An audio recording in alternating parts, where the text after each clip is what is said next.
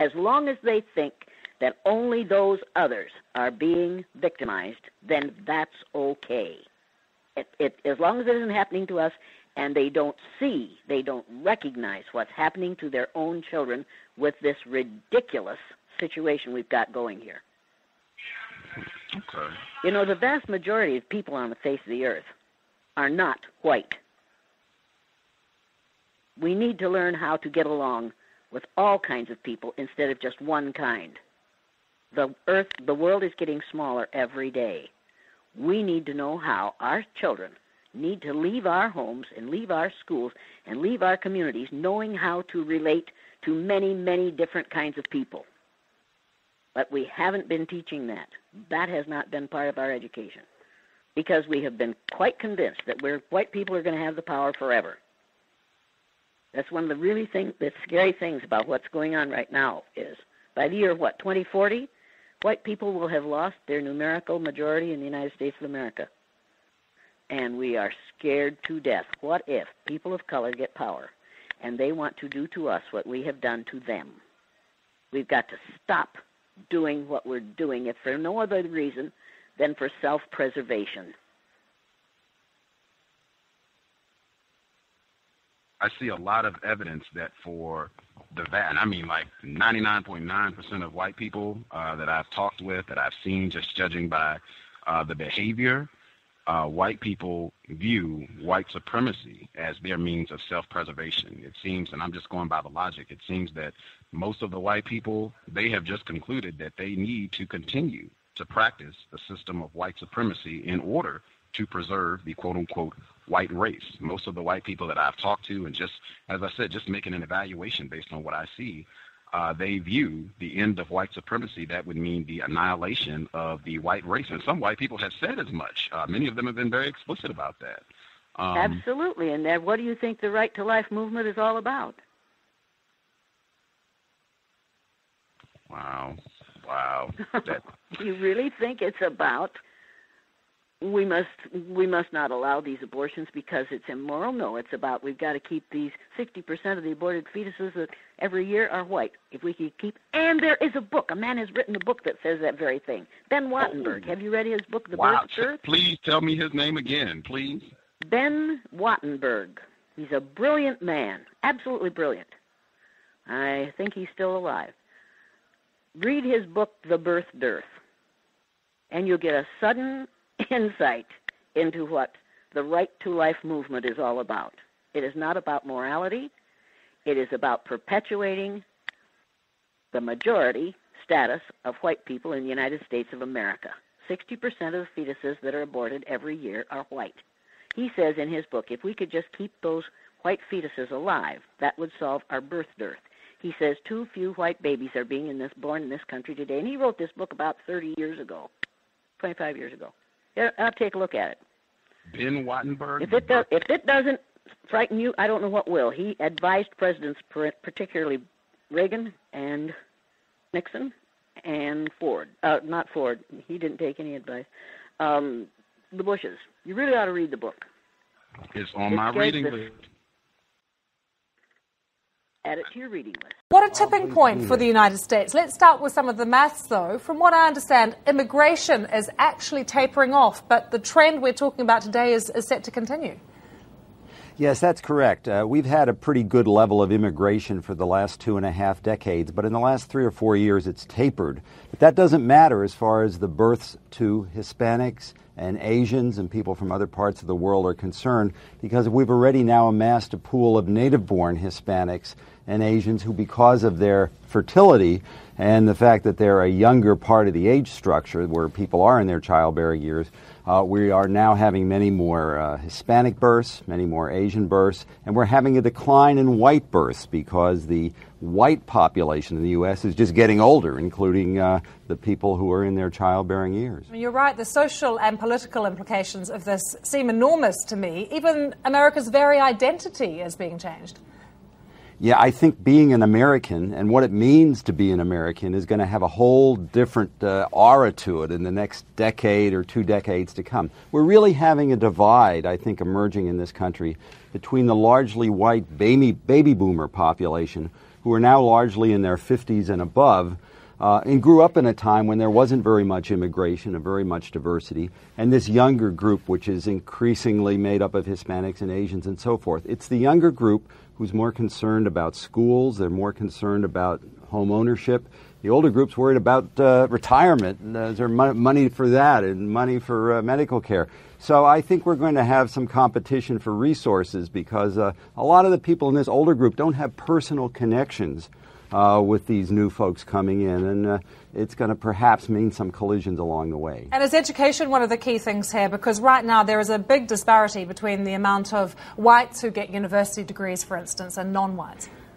That's true. I mean, we have a shrinking pool of whites who are in their school age years, and increasingly people who are coming, especially from Latin America, who come to this country whose parents may not be that well educated and are very dependent on our school system to provide them a pathway to college and to the middle class and to skills.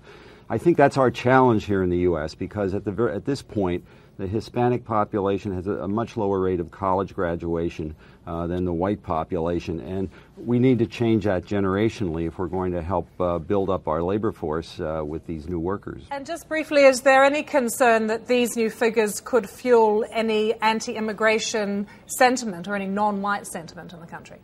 Well, we've had a little bit of anti immigration sentiment uh, on and off over the last couple of decades. Uh, you know, older people sometimes have trouble getting used to new, ch- new things and changes, especially in the middle part of the country where there hadn't been a lot of immigration in the past, and now there's more dispersion into that area.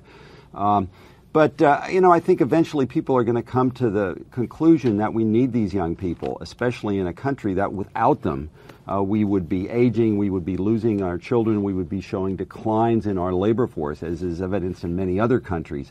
And I think, uh, you know, it's true, we're having a little bit of backlash against this, but my feeling is in the long run, the uh, welcoming idea of America and our history here in this country of new people uh, will prevail.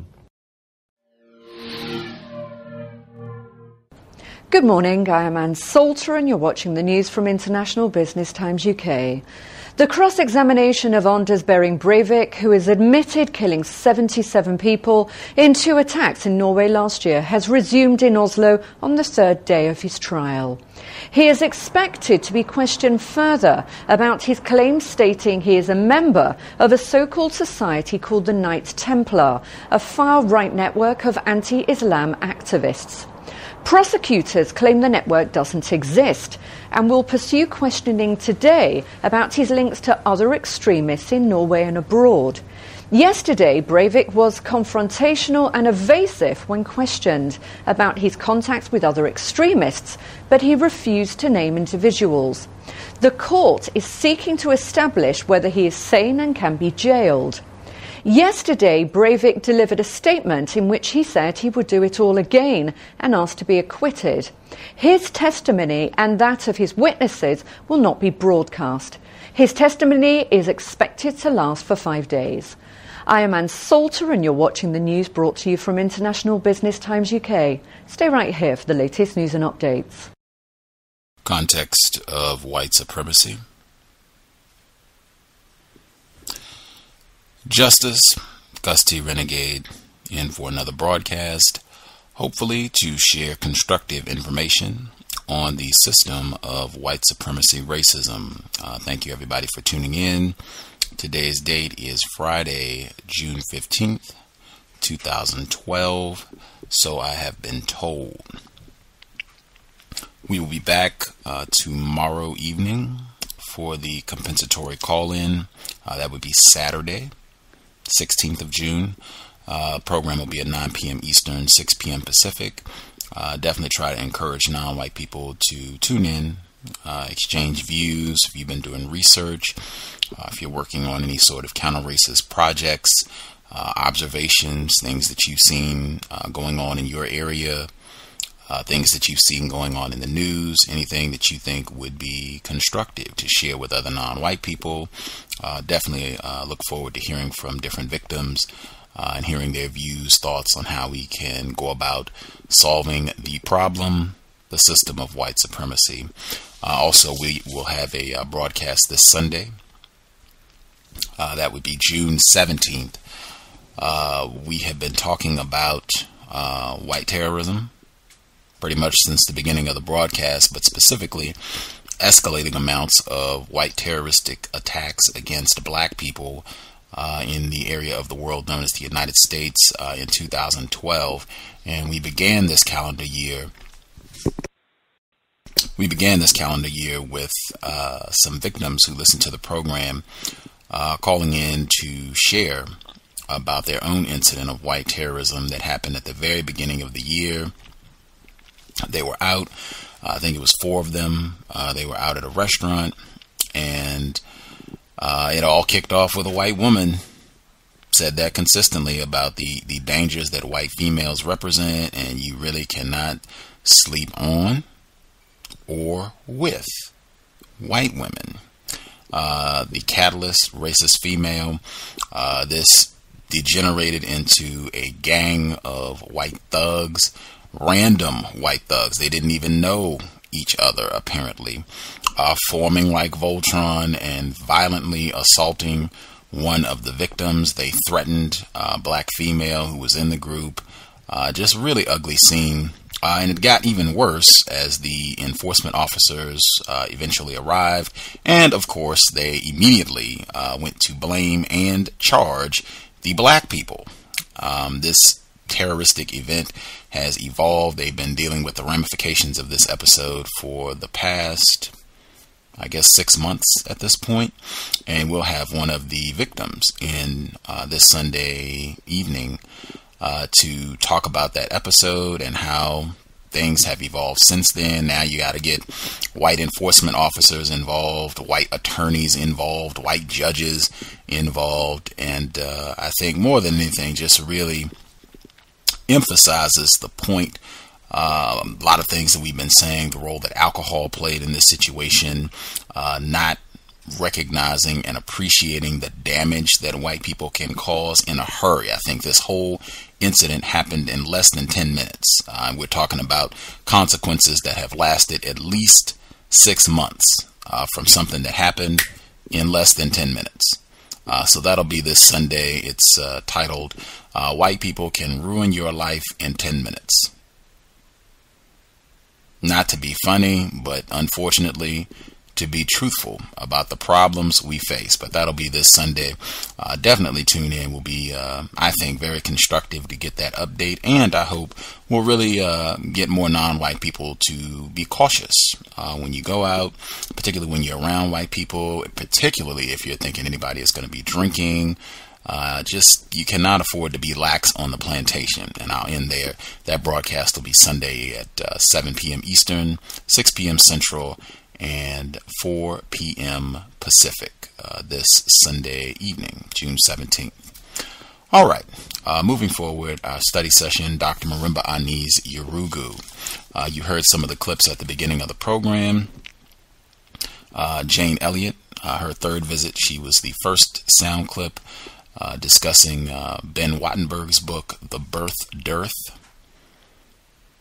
Mm, we might have a sound clip from uh, Wattenberg a little later in the program. The second clip was from BBC just a few weeks ago, I believe in May of 2012, and talking about the changing demographics in the U.S. More non white folks, more non white births. White people have been talking about this. Even some of the uh, KKK members uh, have been talking about this. They were just marching down in North Carolina. Uh, the final clip uh, Anders Breivik, who also was talking about the exact same thing uh, and why he went on his murderous rampage, uh, shooting up folks uh, in Norway uh, about a year ago. Uh, he's currently on trial. and yeah, apparently, as you heard in the sound clip, a part of his defense saying, I'd do it again. Got too many non white people here, doing it under the guise of anti Islam the Islamization. I think Dr. Welsing talked about that. Uh, I'll do it again. I'm proud of what I did and I should be let go. I was defending the white race. All very much related to the sections of Yurugu that we will discuss today. Uh, we should be pages 280 through 350. 280 through 350. Uh, if the reading session is going too quickly, uh, again, folks would need to let me know. Um, I am uh, comfortable going at 70 pages a week. I wouldn't even mind going a little faster, but I know some folks have said that you know it's tough for them to to keep up. Uh, and that you know, hey, no no worries there. But you would need to let me know either uh, dialing in or an email, or you can write it in the chat room for the time being. Uh, if you you know think 70 is too much and, and you would appreciate it if we'd slow down a little bit, I would uh, not be opposed to slowing down and uh, maybe going back to 50 if you all think that would be better. Alrighty, I'll give out the number and give a section or two that I think uh, is important. Uh, and then again, as I said, this is not really something where I'm looking forward to just getting on to talk and read for two hours or what have you. I really would prefer this to be more of a book club session where people are actually keeping up doing the reading and asking questions and or you know just to share their thoughts about things that they read parts that they thought were important uh, if there are parts if you have been doing the reading and i know people have said it's difficult if you do have some confusion certainly dial in let us know we can try to clear it up as best we can um, but yeah, I would prefer to have participation on this. If you know folks are not interested, not their cup of tea, then you know, hey, I, I was really only doing this uh, to help out listeners who said that they thought it would be constructive. If people are not participating, then I would have some doubts about whether or not that is true and or whether people are really dedicated to keeping up with the reading. This is a big book and we're on the home stretch. We are more than halfway through. Uh, people have been keeping up and doing the reading we are getting close. We should only have a couple more sessions, depending on the pace that we keep, before we uh, get to the end of the text. All right, we are on uh, 280. That would be uh, the fifth chapter. Image of others, others being non white people. Uh, this the fifth chapter, as I've been saying consistently, I think about I think once you get through about the first 100 to 150 pages of the book, it starts to become a lot easier to read, I think. Um, I, I think, particularly with chapter 5, if you have been listening to the Cows radio program or if you have some familiarity with the system of racism, white supremacy, then you should have had a pretty easy time digesting what Dr. Ani shares in chapter 5, uh, particularly about how racist man, racist woman, the images that they project of non white people, and how those images reinforce the Utamaroho, the Asili of racist man, racist woman, white people. Uh, we'll read a section or two. I really want to try to get through chapter five as quick as possible because chapter six I thought was just phenomenal. The whole book has been phenomenal, but I thought that was um, newer material. I think chapter five, a lot of this should be familiar. This shouldn't stand out too much to anybody. As I said, if you listen to the cows, uh, this is on page 284, uh, chapter five, image of others, 284. I guess this would be the one, two, three, third paragraph, Joel Kovel, and Joel Kovel, previous guest on the Cows program. You can check the archives, October of 2010. Uh, Kovel uses Freudian analysis to argue that because European Americans are white, they were able to discover the power implied in the use of anal fantasies on a cultural level. The white black dichotomy of purity and dirt but in disagreement, we could use terms of the same analysis to argue that European development has been prematurely frozen in a stage of psychological infancy, anal stage, which people of other cultures outgrow as children. Moving beyond Freud, however, in repudiation of European social theory, generally we can understand Europeans culturally as Yurugu, the incomplete and forever immature being while in Kovel's view, Africans, blacks, represent dirt that is despised universally by human beings on a repressed subconscious level, two other theorists, Francis Cress Welsing and Richard King, also psychiatrists, have quite different explanations. In their views, this reaction is not common to all peoples. They understand European hatred of blackness and of human color generally to be peculiar to white people. They argue that the phenomenon is very much culture specific. Both Welsing and King focus on the absence of mel- melanin as a key to the ideology of white nationalism. In Welsing's view, the European value of whiteness is a defense mechanism growing out of a sense of inadequacy as Europeans become aware of their extreme minority status in the world. This realization caused a psychological response. Through a process of reaction formation, they have changed a desired characteristic, blackness, color, into a devalued one, and in reverse, whiteness, or the lack of color, then could be valued. They then created and have sustained a system in which the minority controls the majority, the system of white supremacy. This process, in Welsing's view, explains the substance of European civilization. Richard King argues that for Caucasian for the Caucasian Africans who became demelanated, that is Dr. Ani's term, as a result of their physical survival during the last glacial period in Eurasia, blackness is traumatic. It is associated with the loss of their culture and spiritual consciousness caused by a decreased functioning of the pineal gland, which secretes melatonin, a conscious altering hormone, and by their isolation from African ancestors. He argues that Caucasians reacted to this loss with fear of what had become inaccessible, unknown. Then they turned that which they feared into that which they hated. Blackness became evil in this process, and dialectically, whiteness, the known, came to represent good or value. Um, stopping right there, that is 284 to 285. Again, this chapter just reinforces the imaging and how that contributes to this dichotomy white being good, black representing evil, bad. You see it all the time, uh, both ways, with uh, Charlize Theron, Snow White, the recent adaptation uh, just blowing up in theaters. I would even say, and I have not seen Prometheus, so I don't know, but I suspect it's even playing out there, where I suspect Charlize Theron is the protagonist. You, I think, I'm sure some of you all have seen Prometheus, but I'm sure she's the person that you're rooting for. You don't want anything to happen to uh, our fabulous, gorgeous white damsel in distress who is being threatened by some sort of space creature. I think they're out uh, you know, exploring off the planet They're somewhere, and some sort of uh, extraterrestrial creature is threatening these white people on this expedition. I suspect it's playing out right there, where your loyalties, uh, your sympathies go to the white people. And at the same time, these extraterrestrial creatures, I'm sure they're dark, uh, where that is the beast, that is the threat, that is the danger. You see this played up all the time, uh, whether it's in sci fi where it might be uh, not so explicit, but you see this all the time in the way that black people are represented, the images of non white people, especially black people. Uh, white people do a lot of work in that area.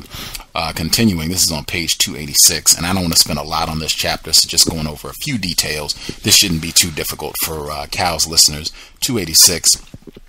The nature of the European Utamaroho both defines others as competitors and enemies, and at the same time compels Europeans to leave home where they are least surrounded by those who look and act like them, and to move into alien lands in which they are the strangers. Colonial situations and slave plantations are cases in point. The Europeans' sense of power is exhilarated by the fact that they are among a very few whites who control many dark skinned natives. Yet imagine as well the deep underlying fear, the recurring nightmare that someday these natural underlings will get together and overcome them by sheer numbers or kill them in their sleep.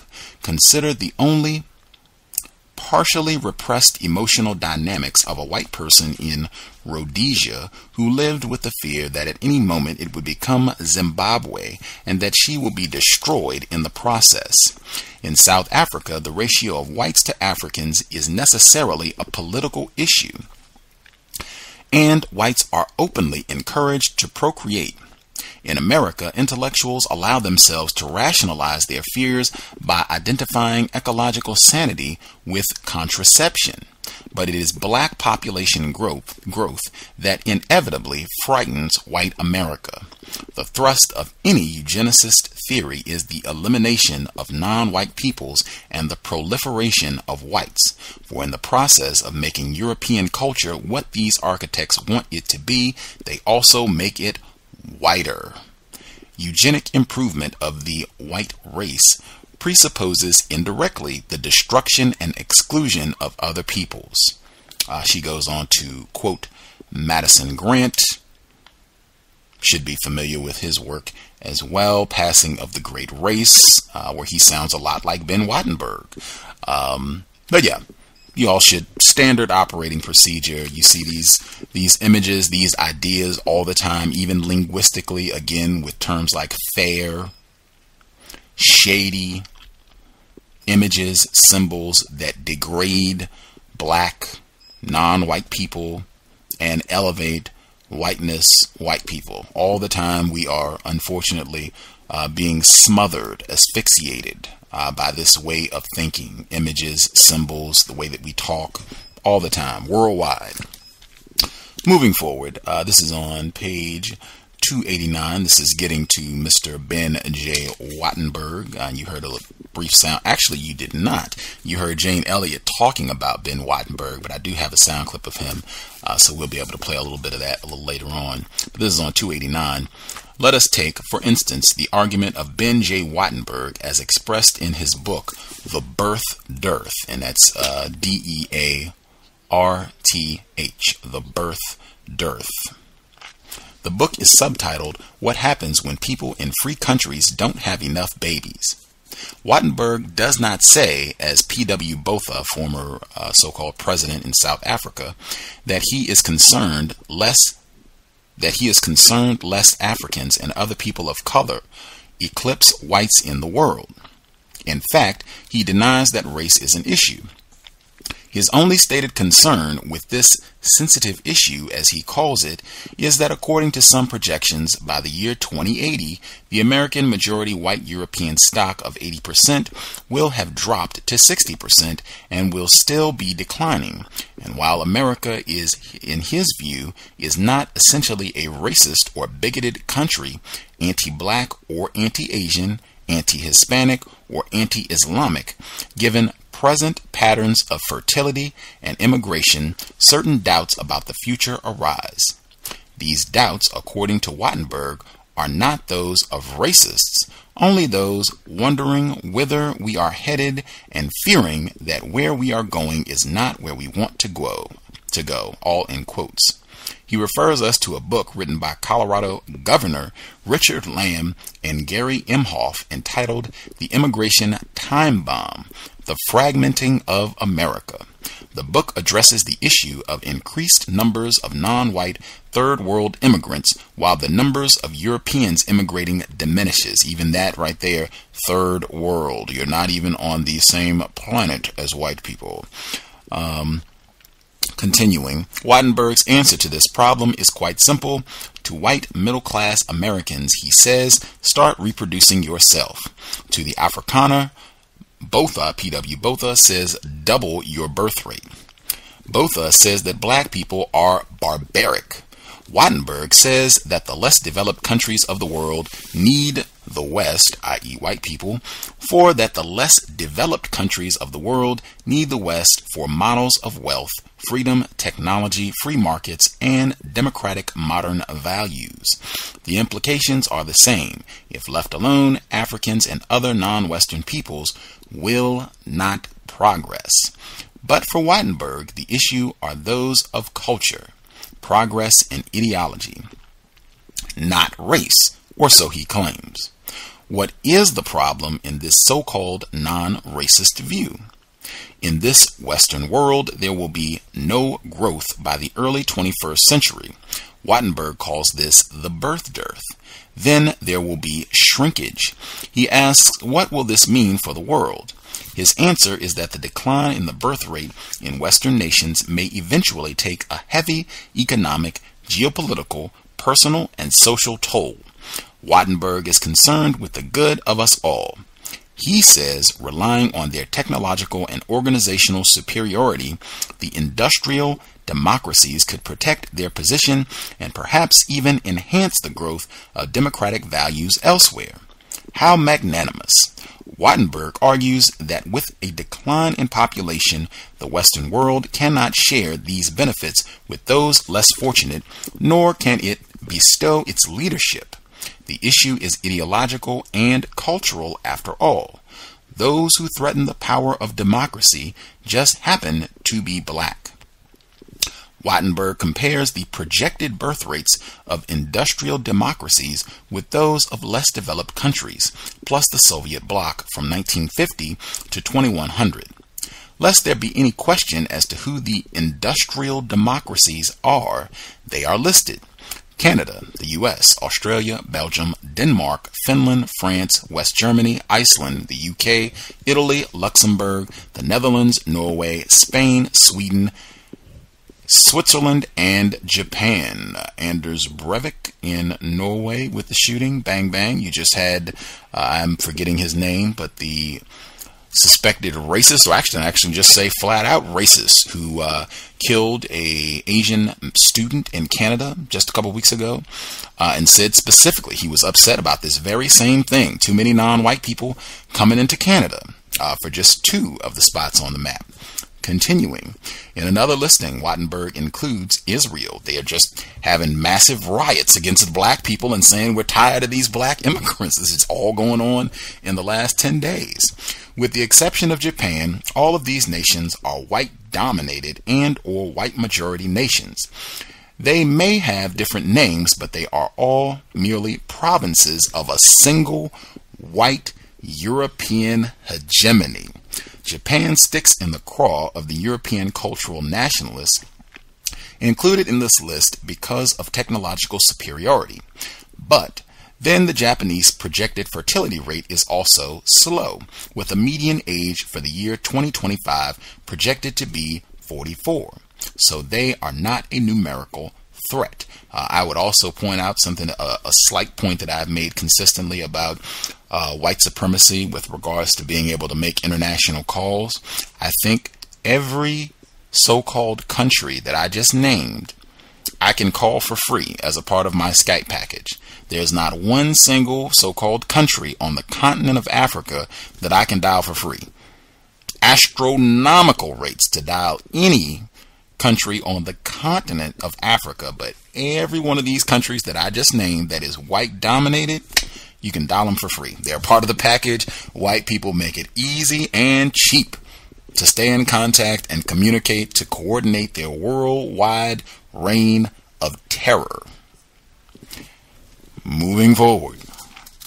And again, I hope this is, I think Dr. Welsing, when she encourages people to, you know, stay informed of the news, uh, if you look, and particularly if you, if you have a global perspective, man, all of these areas of the world, they are having major issues around immigration. And I mean explicit examples of white people coming out, being violent, making no bones about it. They are not pussyfooting.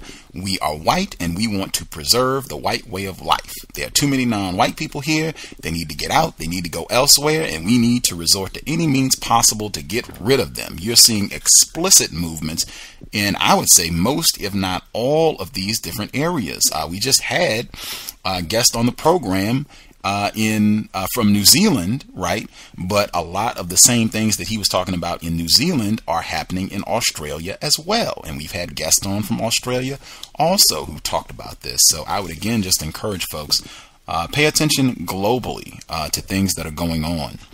Um, let's see. Oh, I'll I'll read a little more and then we'll be almost done with this uh, chapter. Wattenberg states his fear the third world will be growing larger both absolutely and relatively in decades to come. He then asks Could third world culture become dominant? Could it erode our culture? It makes little difference whether he is considered a culturalist or a racist. From an African centered perspective, we are our culture. To deprecate one is to demean the other. To fear African culture is to fear Africans. Wattenberg makes this fear explicit. In effect, he is saying that if there are more of them, their culture will contaminate us. If there are fewer of us, there will be less of our culture, and therefore we will have less power. But, says Wattenberg, because the West has so much to give to, excuse me, but, says Wattenberg, this view should not be seen simply as Western chauvinism because the West has so much to give to the world.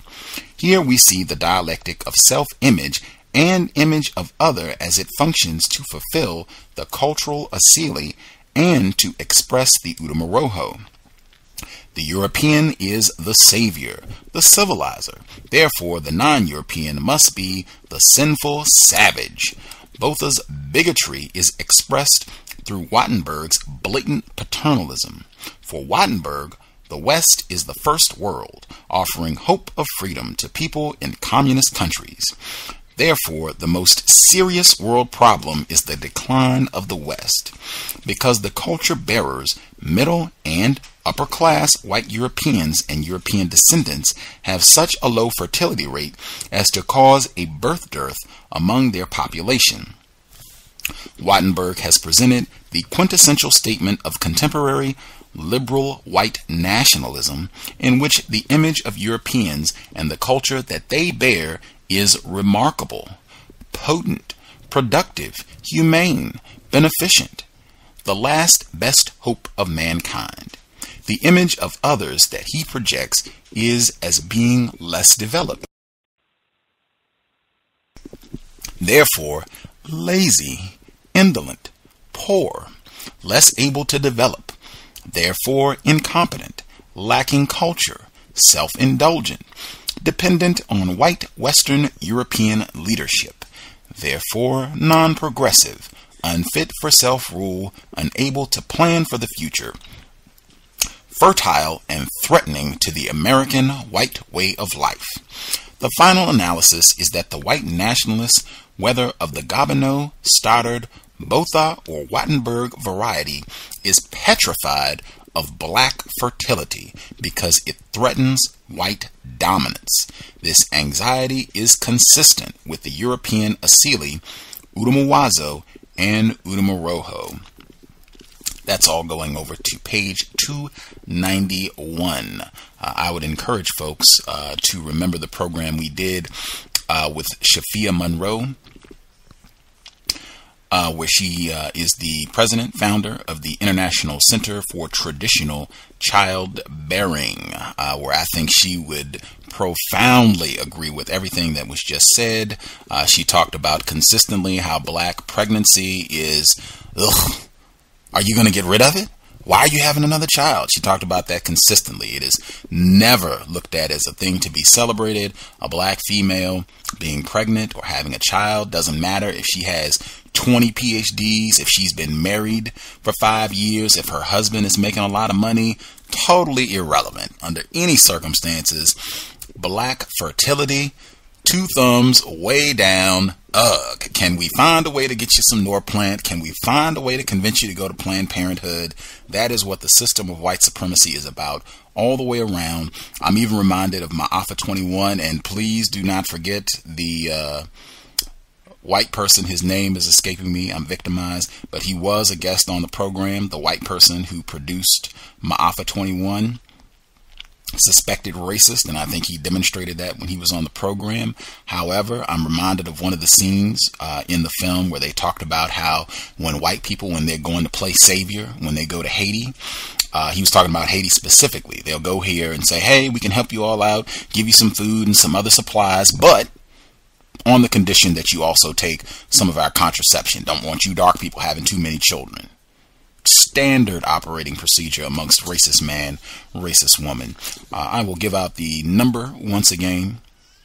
Uh, it is 760 569 7676, and the code is 564 943 pound. Thank you kindly, cynical African. It is Mark Crutcher, the white man who did Ma'afa 21, suspected racist Mark Crutcher, and he was here long, well, I guess relatively speaking, long time ago uh, in December of 2009. Woof long time ago, but very informative program. I would say check it out. He uh, also gives a lot of information to support what Dr. Ani is saying.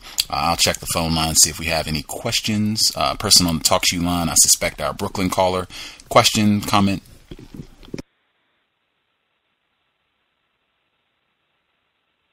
Oh, uh, can I be heard? Yes, sir. Uh, greetings, uh, Shooby Doo. Um, yeah, um, just reminded me of something I, I saw yesterday um, uh, on on Fox. I, I don't watch TV or anything, but I was just in front of a TV doing work, and uh, on Fox it said uh, the most powerful name in local news, and I just cracked up laughing. I just couldn't stop for like it said the most powerful name in in, in news.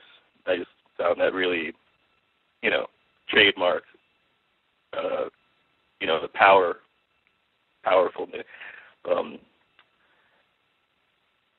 yeah, very interesting stuff. Um, could, could I could I read a little passage that I, I found pretty interesting? Absolutely. Groovy. Um, uh, let me see. Um, I think it was 294. Um, talking about media um, talking about uh, how how white supremacy, um, I guess, sur- survived uh, the emanci- the so-called emancipation, um, and uh, was uh, continued through the media, um, negative media about black people. Um, let me see, uh, like third paragraph um, in the aftermath of slavery during uh, Reconstruction in the United States, the late 1800s and early 1900s, the image of the African suffered under a systematic assault of visual propaganda at the hands of American whites. Now that slavery as an institution had ended, the attempt to dehumanize Africans on the part of the European would have to be continued using other methods. It was important to the system of white supremacy that, one, white people continually, continually reinforce their Euro- European consciousness at the expense of the African image, i.e., through our degradation, and two, that the Africans continue to act like quote unquote slaves of a new sport and indeed become what Europeans portrayed them to be. The objective of the European was thwarted to the degree that an African consciousness was sustained among people of African descent that allowed them to reject the European created image of them. Um,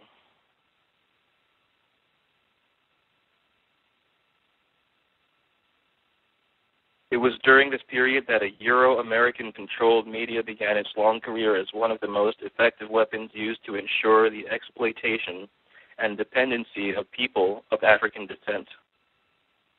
Black faces were used to sell everything from toothpaste to pancakes. Distorted images appeared on boxes and, tub- and tubes, Aunt Uncle Ben, and even on vaudeville stages to make white people laugh. But the media had really done its job when black people laughed too. And in 1987, when black people had arrived, quote unquote, and could therefore collect these vintage products of a racist media as black memorabilia. Yeah, I, I just found that uh, just on point. Um, let's share that. Absolutely, I had that portion highlighted as well.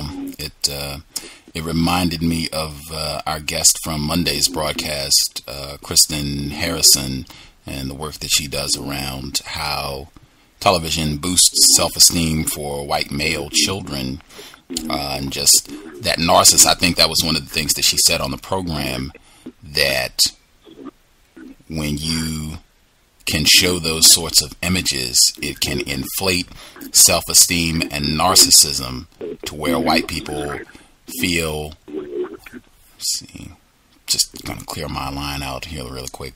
Uh, where that where you can inflate self esteem to where white people they see these images of Hattie McDaniel and Mike Tyson uh, acting crazy and singing songs and The Help and Precious and Driving Miss Daisy and on and on and on, uh, where you see these buffoonish clowning images or black people sticking a child in a washing machine, where it just inflates the Utamaroho of white people. It drives the Utamaroho, the Asili of racist man, racist woman, in making them feel, yes, we are the greatest thing in the history of the universe. Black people are decrepit, foolish, and ignorant. You certainly do not want these people in charge. We have got to remain steadfast and dedicated to white domination. If we do not, we do not want George Jefferson and Weezy running the world. And I think they have even called President Obama.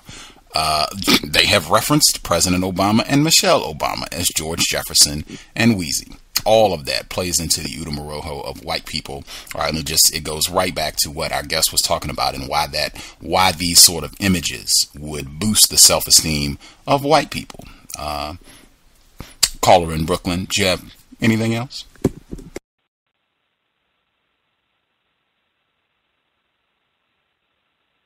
Oh, give me one second.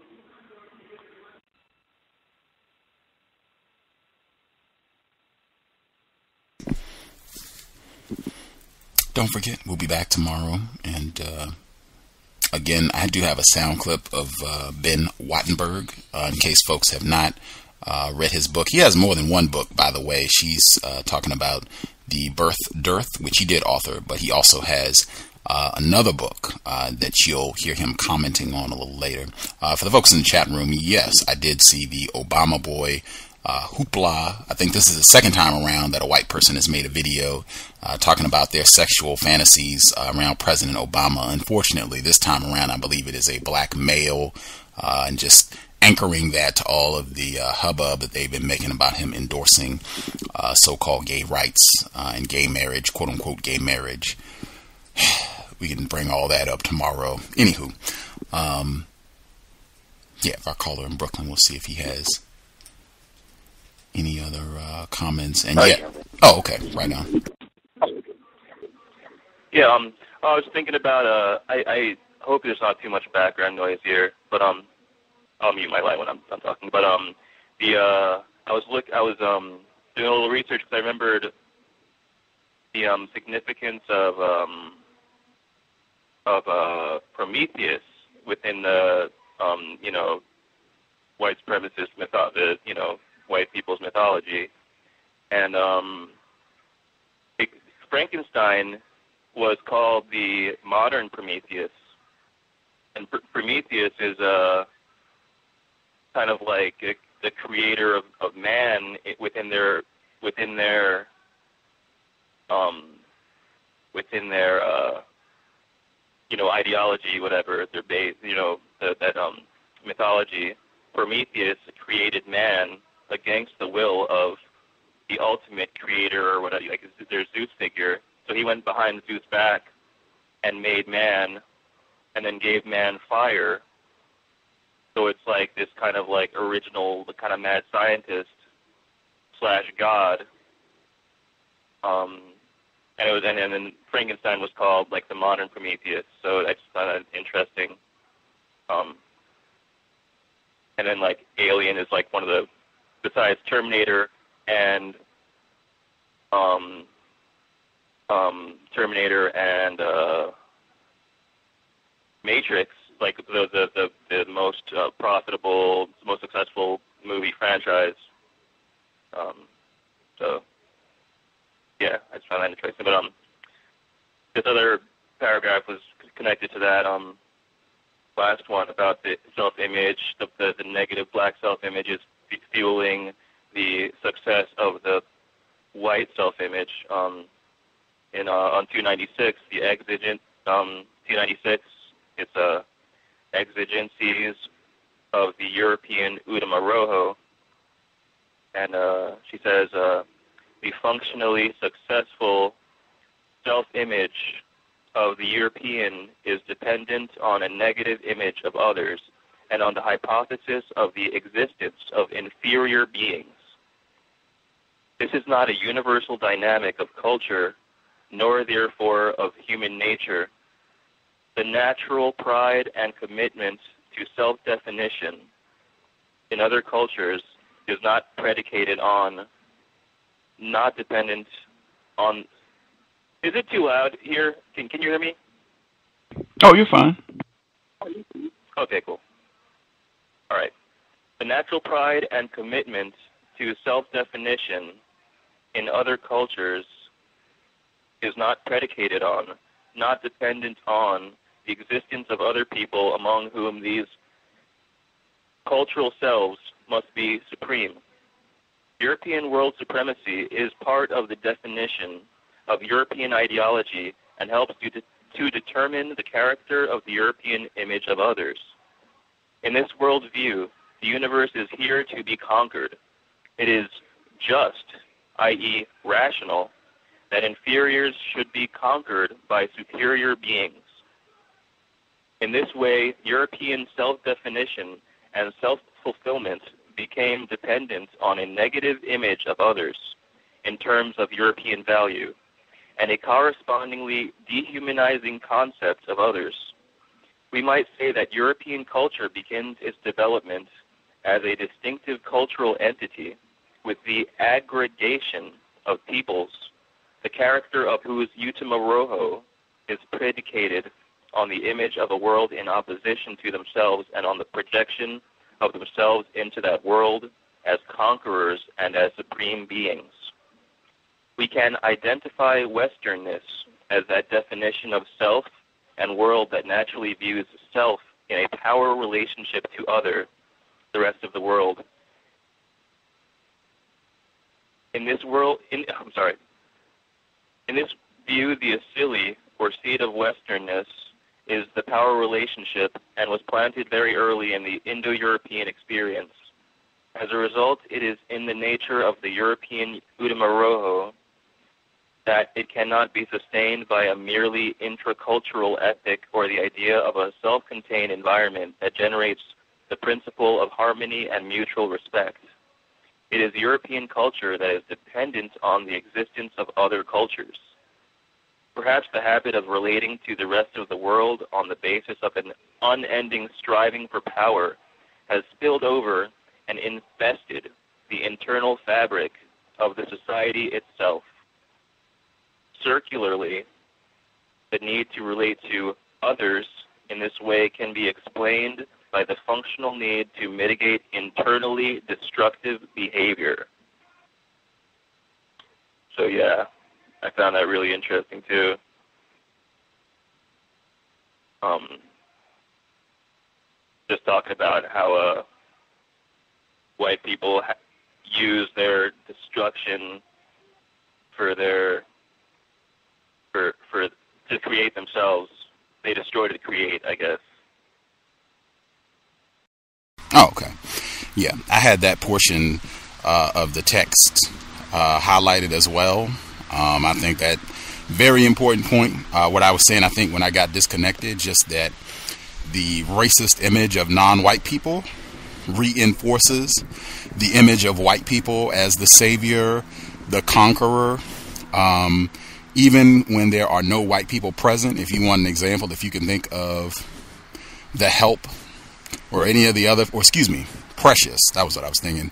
Even the films where there are no white people present and you just see black people acting crazy and being stupid, even if there are no white people present, that reinforces the confidence, the esteem of white people because you've got the contrast. This is not us. Very important point among others. Uh, one of our folks on the line with a hand up as well, uh, our Skype caller. Do you have a question, comment? Your line should be open as well. Um, hi. Um, I have um, a point on, well, uh, passage, I guess you could say, on page 303.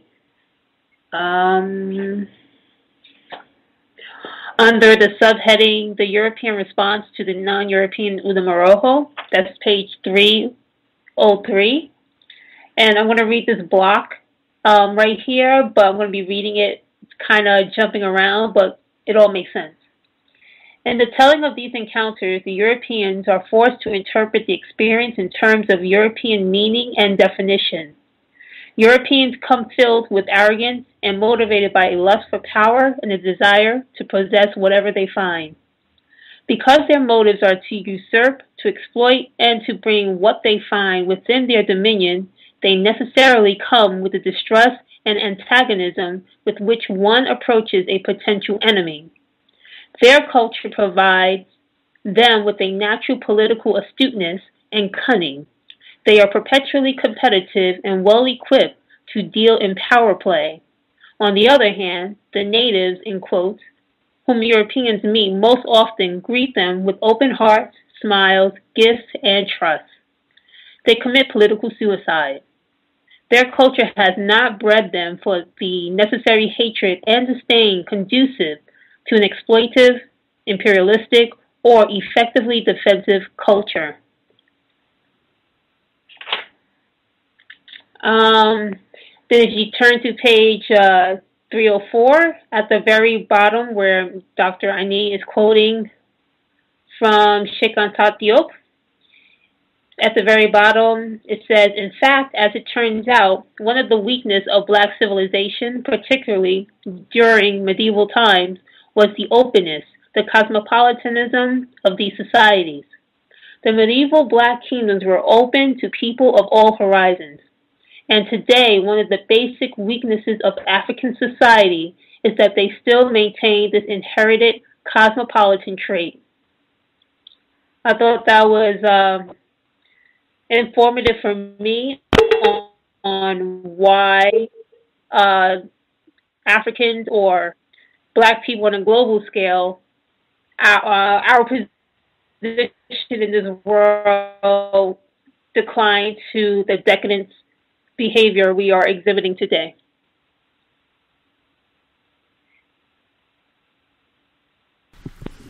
Absolutely.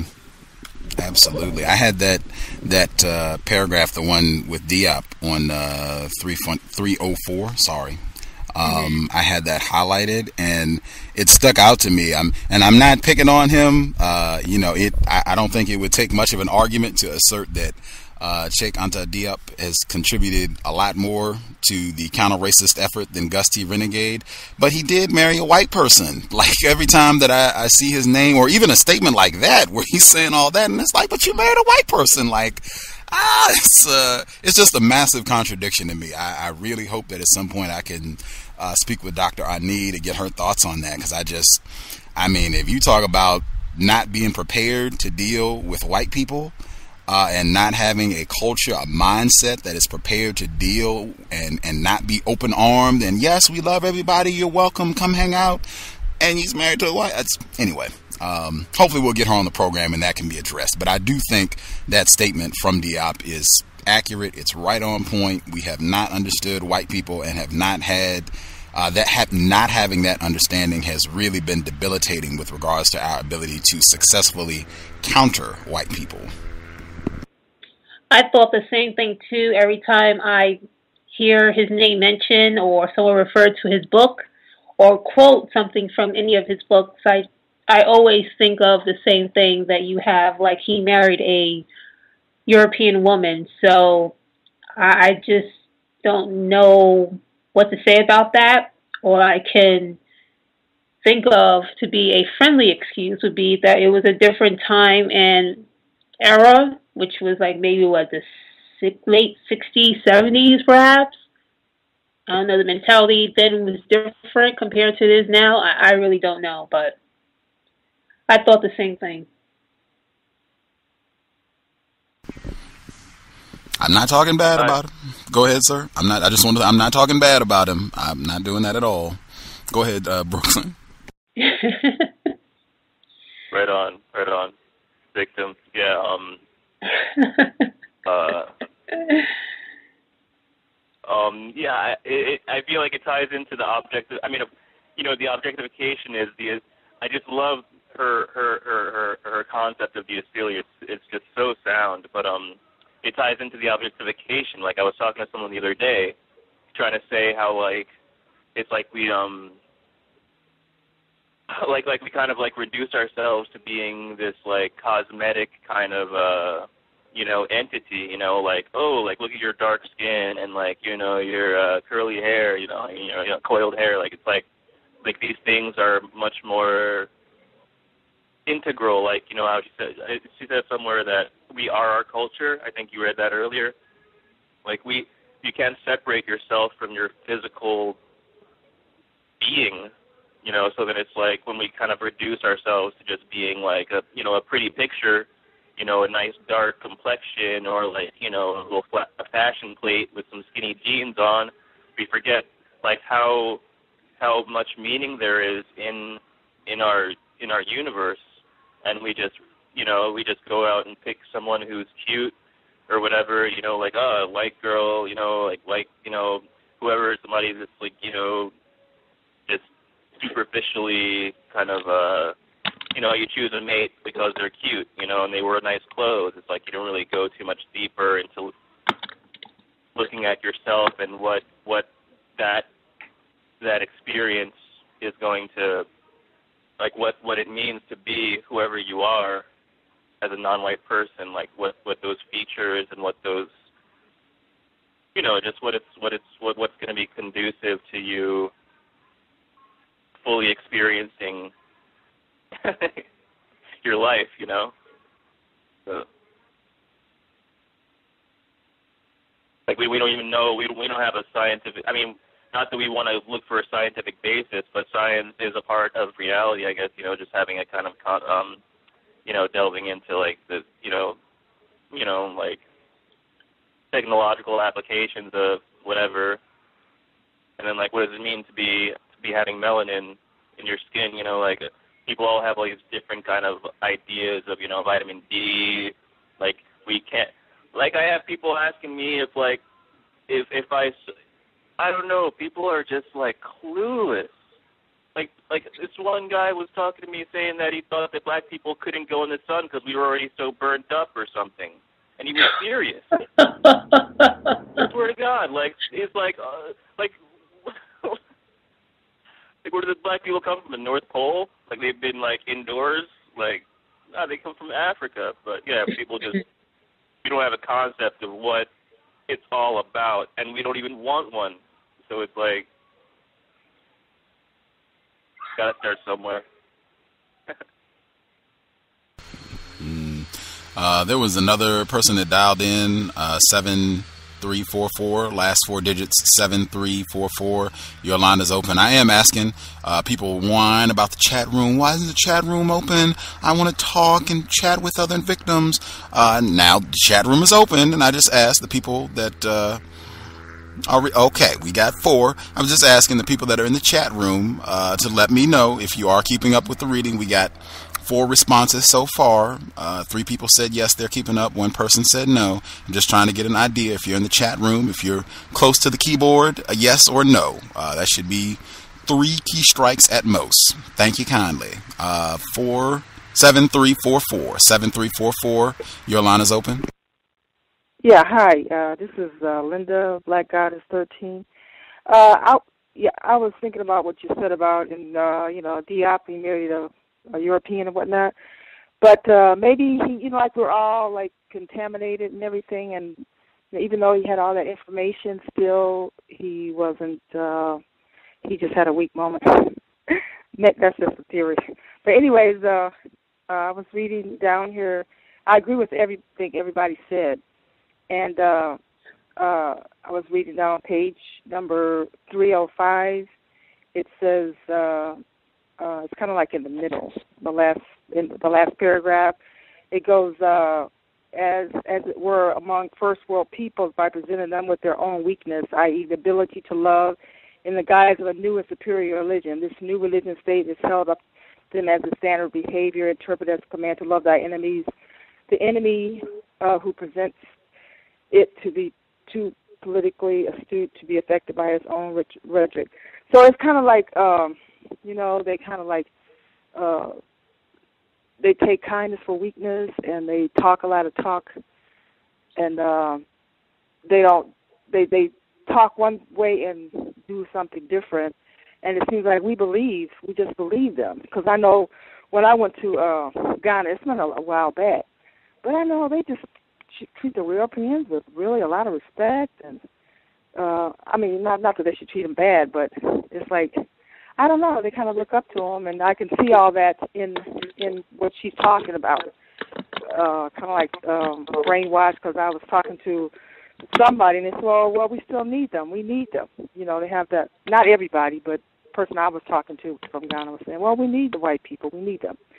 You know, so I just say, well, I guess it's all part of the brainwashing, and this all kind of explains it, and, the way she she she uh, explains it like this. So I just noticed that. But anyways, that's all I had to say.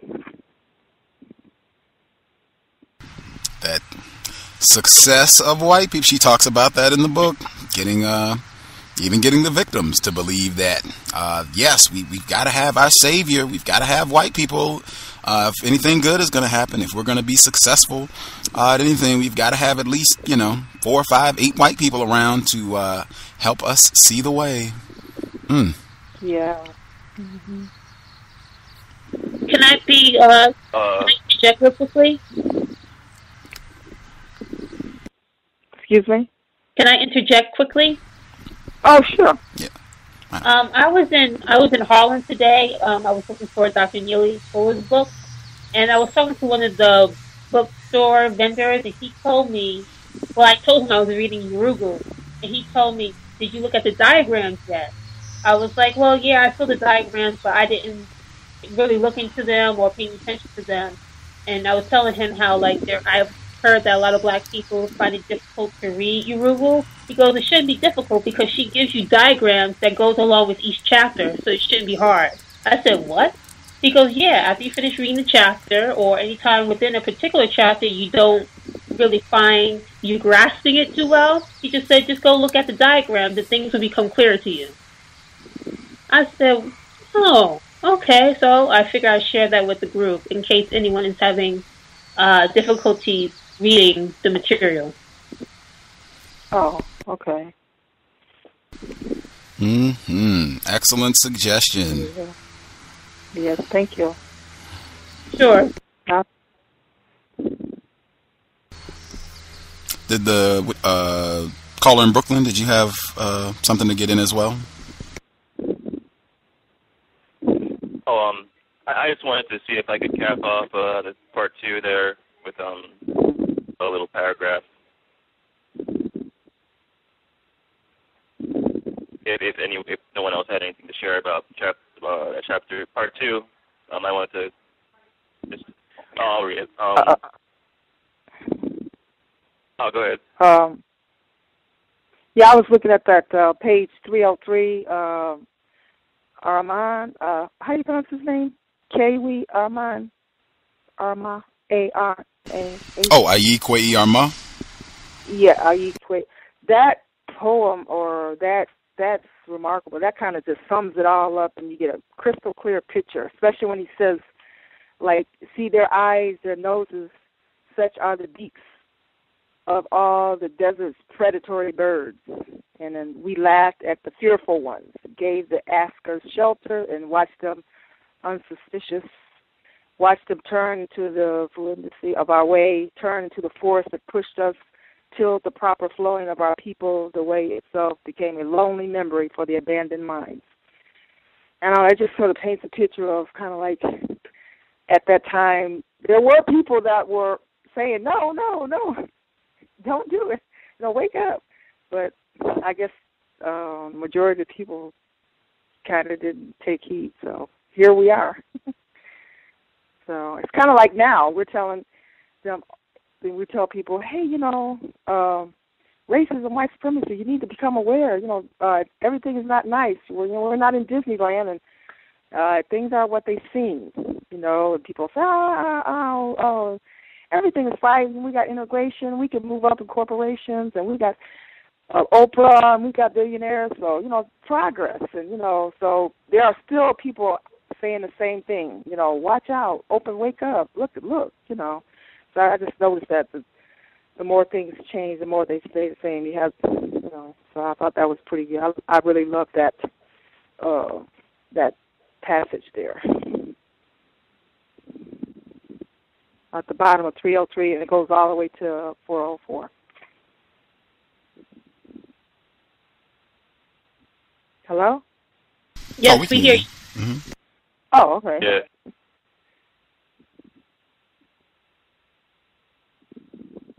Yeah, that's that's uh that's powerful. Some powerful words. Yeah. It it it it, it, it really um those are the makers of these are the makers of carrion. The wary ones said, said do not shelter them. Mm-hmm. Yeah, I guess like you know I was thinking about it. It's like you know if you look at it et- ethnologically, if you look at what's happened over the last you know a few hundred years, our arrival here in this area and our interaction with these people, these um white white supremacists, like it's like basically if a rape somebody gets raped and then after that rape happens then I don't know, like uh somehow the two people the first the rape victim and the and the rapist somehow become like uh equals but then there's this like you know, obviously there's this psychological damage and physical damage, and it's like how, how I guess I, I guess like yeah. I mean, I was just thinking about that, but that's kind of like going away from the point. But um, it's like uh, it's their culture. I guess it's just it's like inevitable that that their culture would have expanded to dominate the other cultures, and it's not like they. It's not like uh an achieve it's not like an achievable goal it's just like an endless it's an endless uh pursuit Yeah. so it's like they would have you know it's not like they really i don't know it's like they're they're like uh, i guess i'm trying to say it's like they didn't really win it's just that they need to dominate so they would never be satisfied Yeah. So No matter what. Yeah. ter- terrible Yeah. Kind of like a monster, you know, just hungry and just got to stuff itself and always got to be fed. Yeah, like a vampire. I think we talked about that too. Yeah.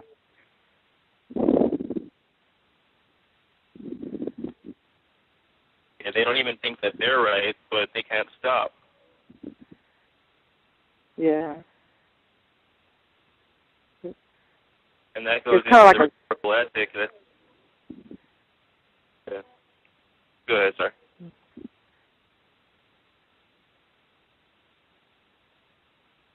It's kind of like a serial killer. You know, they have to kill people, and they once they go out and kill somebody, you know how they they come back and they have some. I don't know. Some have regrets, but then they have that urge that they just have to go and do it again. You know, so yeah. But it's part of their DNA. And they so, project, and the whole thing gets projected on their victims Yeah. to rationalize it. Mhm. We're monsters. Yeah.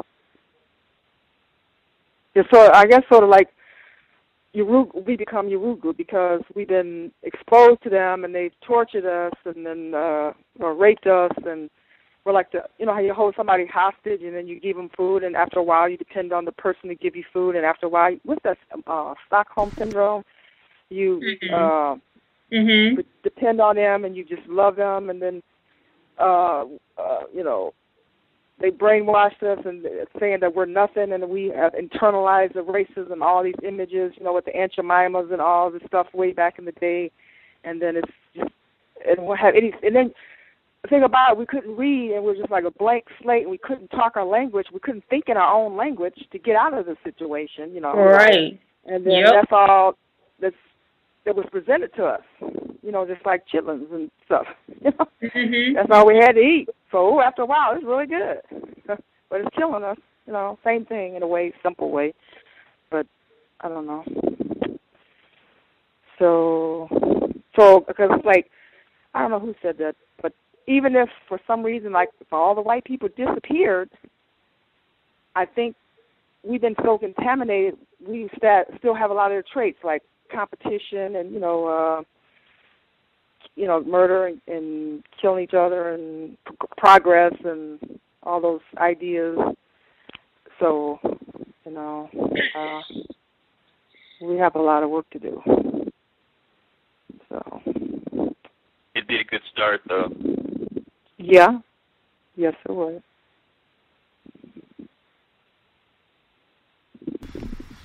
Wow.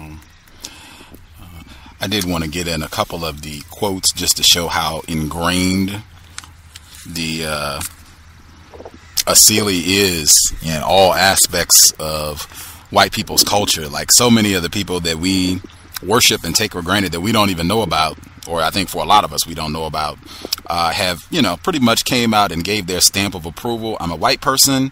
I'm totally down with racism, white supremacy forever. Uh, she goes through the quote just to show the Utamawazo, the thinking, the white world view expressed by so many different people. I'm not going to read all of them, but just to pick out a few of the folks that I thought was really important. Uh, she has Abraham Lincoln. I'm not going to read this because I think it's the same quote that Pam uses uh, in uh, some of their Trojan Horse publications uh, where he's talking about the white superiority over black people. Uh, Edgar Allan Poe, for how many people who've had to read his works, uh, I know when I started yeah. studying seriously, he has a short story that is about a monkey escaping in Philadelphia, and the monkey kills this white woman in her bedroom. And this was published at the time when there were a group of black people who revolted in Philadelphia and killed some white people. And this story came out right after this happened. This is in the 19th century. And uh, a white literary critic reviewed this work and says, Now, you see the racism here? We've been comparing black people to monkeys for centuries. Uh, and even his short stories, it comes out where the black people got to be some monkey. And the sexual element that's happening in the bedroom, uh, I can give you all the the literary critique where she breaks this down and says that Edgar Allan Poe is just writing a racist little story here comparing black people to monkeys. Anyway, uh, in Ani's work on 299, Dr. Ani, she, uh, the quote she gives from Edgar Allan Poe is uh, Our assailants are numerous, and it is indispensable that we should meet that assault with vigor and activity. Nothing is wanting but manly discussion to convince our own people, at least, that in continuing to command the services of the slaves, they violate no law, divine or human, and that in the faithful discharge of their reciprocal obligations lies their duty. This is 1836. If anybody is interested in reading that critique of Poe, I can hook that up for you. Um, some of the old Benjamin Franklin. Uh, I when I began studying seriously, uh, there was a different book that I read talking about Benjamin Franklin and some of the explicit statements that he made, whining and whimpering about the fact that there are not enough white people on the planet and there are too many dark people. And I just thought, wow, white people have us making songs about Benjamins. And this guy is a blatant racist, just a massive confusion. But the, the quote she gives why increase the sons of Africa by planting them in America where we have so fair an opportunity by excluding blacks and tawnies of increasing the lovely white and red? Uh, this is from 1753. Uh, the last one I'll give, and there are a lot of different white people that she quotes. Uh, the last one I'll read, she's got, of course, the infamous uh, Dr. William Shockley, uh, but she has Karl Marx. Oh, I'm going to do the last two Karl Marx and Susan B. Anthony. I do Karl Marx because I've bumped into so many white people here in liberal Washington state where they've been on the, oh, we got to be about uh, socialism and its class oh, and read Karl Marx and blah, blah, blah. And I, I read, I, t- Ayi Kwei Armah is one of the best writers I've ever, my retina has ever scanned. He is phenomenal. He has essays that will blow your mind. Uh, and what I mean, they will totally deactivate your white chip. He has one that is called Uh, oh, it'll come to me. Give me one second. On, it's all about Marxism and about how confused black people thinking that they will end white supremacy by pointing to this white guy, Karl Marx, and thinking that he has the answers to the problems they face as a result of white supremacy and the absurdity of that notion. Uh, if I can't think of it, I'll get it. But it's one of the best essays I've ever written. Pretty much anything he writes is phenomenal. Um, but I would just point and laugh at people like Karl Marx is a racist. He came out and, and spoke explicitly about how his disdain for non-white people. The quote Dr. Ani gives on page 300, it is now entirely clear to me that as his cranial structure and hair type prove, Lassalle is descended from the Negroes who joined Moses' flight from Egypt. That is, assuming his mother or his paternal grandmother did not cross with a nigger. Now, this union of Jewry and Germanism with the Negro like basic substance must necessarily result in a remarkable product. The officiousness of the fellow is also nigger like. This is Karl Marx, uh, 1862. Uh, the last one I'll read just demonstrating the consistency in the worldview and what it means to be a white person. Susan B. Anthony, one of my favorites, when the feminists jump up and try to say, We're down to it's the white man. No, it is not. It is racist man, racist woman. Get that white woman back over there. She is not on our team. Uh, Susan B. Anthony, the old anti slavery school says that women must stay back that they must wait until male Negroes are voters. But we say if you will not give the whole loaf of justice to an entire people, give it to the most intelligent first. If intelligence, justice, and morality are to be placed in the government, then let the question of white women be brought up first and that of the Negro last. And this is a reply to Frederick Douglass. And I remember Frederick Douglass talked about this, and he said one of the worst mistakes that he made was supporting those white women for their suffrage rights and thinking, yeah, that's the down thing to do, and I totally support that, and then not realizing these white women are just as racist as the white men that we've been struggling against. And he wrote before before he passed, and even though that would be a cowbell too, uh, that one of his worst errors supporting those white women. But yeah, that's another sad cowbell, Frederick Douglass. Ugh. And he married a white woman too. Two of them. He married a white woman too. Yes, he did. Yes. Yeah. In upstate New York. Upstate New York. Yep. That's probably the forbidden yeah, fruit, like... you know. Um, Gus, I have a question. I'd like to know your opinion. Um, on the Abraham Lincoln passage on page 298 to 299, knowing this fact of Abraham Lincoln's position and opinion on black people, why do you think what was the, maybe the symbolic meaning me, meaning in President Obama swearing in to the office of the United States of America with his hand on the Bible of Abraham Lincoln? Uh, I think it's it's just confusion. Um, I think symbolically, I think non-white people, particularly non-white people that are being showcased by racists, I think they have to do things to demonstrate their subservience to the will of racist man and racist woman. And I think that sort of act, non-white people will see that and read it as, oh, uh, he's you know picking out the guy that freed us and wow what what a great moment. And he has such reverence for someone who was against slavery and was willing to fight a whole war and kill hundreds of thousands of white people uh, for black people and to save us. And that is great. And he's respecting almost john brownish. He's respecting uh, a white person who has shown us you know that that it's not all white people that they do have some concern about black people. But if you that only works if you're not informed. I think for white people, they understand. Uh, Abraham Lincoln, he's down with the team too. So you know, right on. You're just picking another racist uh, to put your hand on this Bible or what have you, and he's, in my view, symbolically showing his commitment, allegiance to, subservience to racist man, racist woman. Exactly. But I think it gives out that. Con- in fact, it goes to what she talks about later on, which I thought was the most important chunk of the reading this week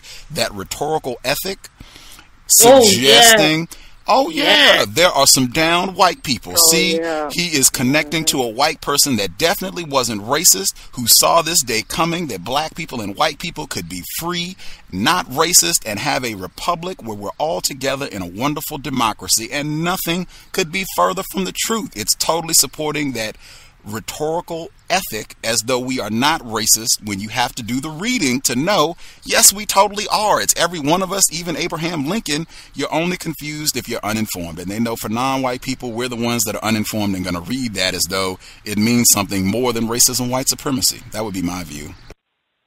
And my last comment on this, on Abraham Lincoln and Obama, um, to me, it symbolizes the, the, the the breaking apart of the United States, in my opinion. Again, um, I say again because Abraham Lincoln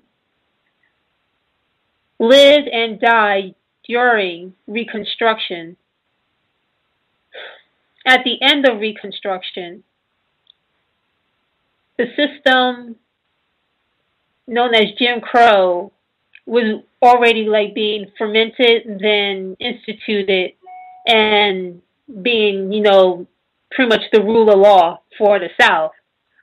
I'm thinking today, uh, President Obama and we as a people currently are in are like a rendezvous of quote unquote Reconstruction era, in a sense that everything we have quote unquote enjoyed in the past, say, 40 something years as non-whites in this country, I think it's going to come to an end with President Obama in office, whether he's in office for four years or eight years. Um, I don't think he's going to make it for eight years. I think he's out come November.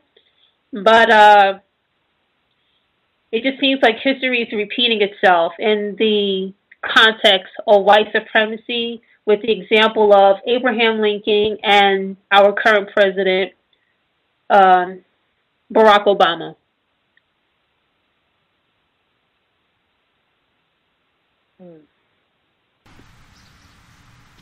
It's Good point. Good point.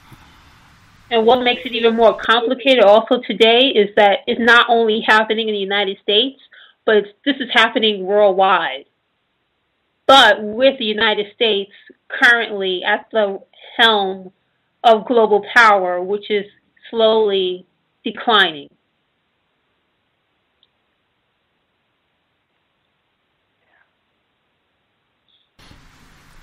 Excellent point. Yeah. They, Go ahead, sir. I so, yeah, it's just like I guess they're, they're going to go into it later too, but um, I guess part of the rhetorical ethic, um, how they're saying like oh, you know, we keep on getting it wrong. This whole like, you know, you know, this whole uh, America thing. We keep on, oh, we just messed it up again, man. Too bad people are disadvantaged. As if that wasn't the goal. Like they they they they they they, they, they, they take the exception to the rule to be like the um, aspiration of what they're really trying to do, but it's like that's that's not really what the aim is,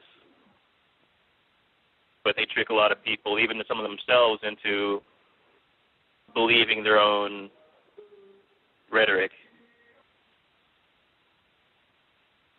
So I guess Obama's just, you know, he's confused. Yeah.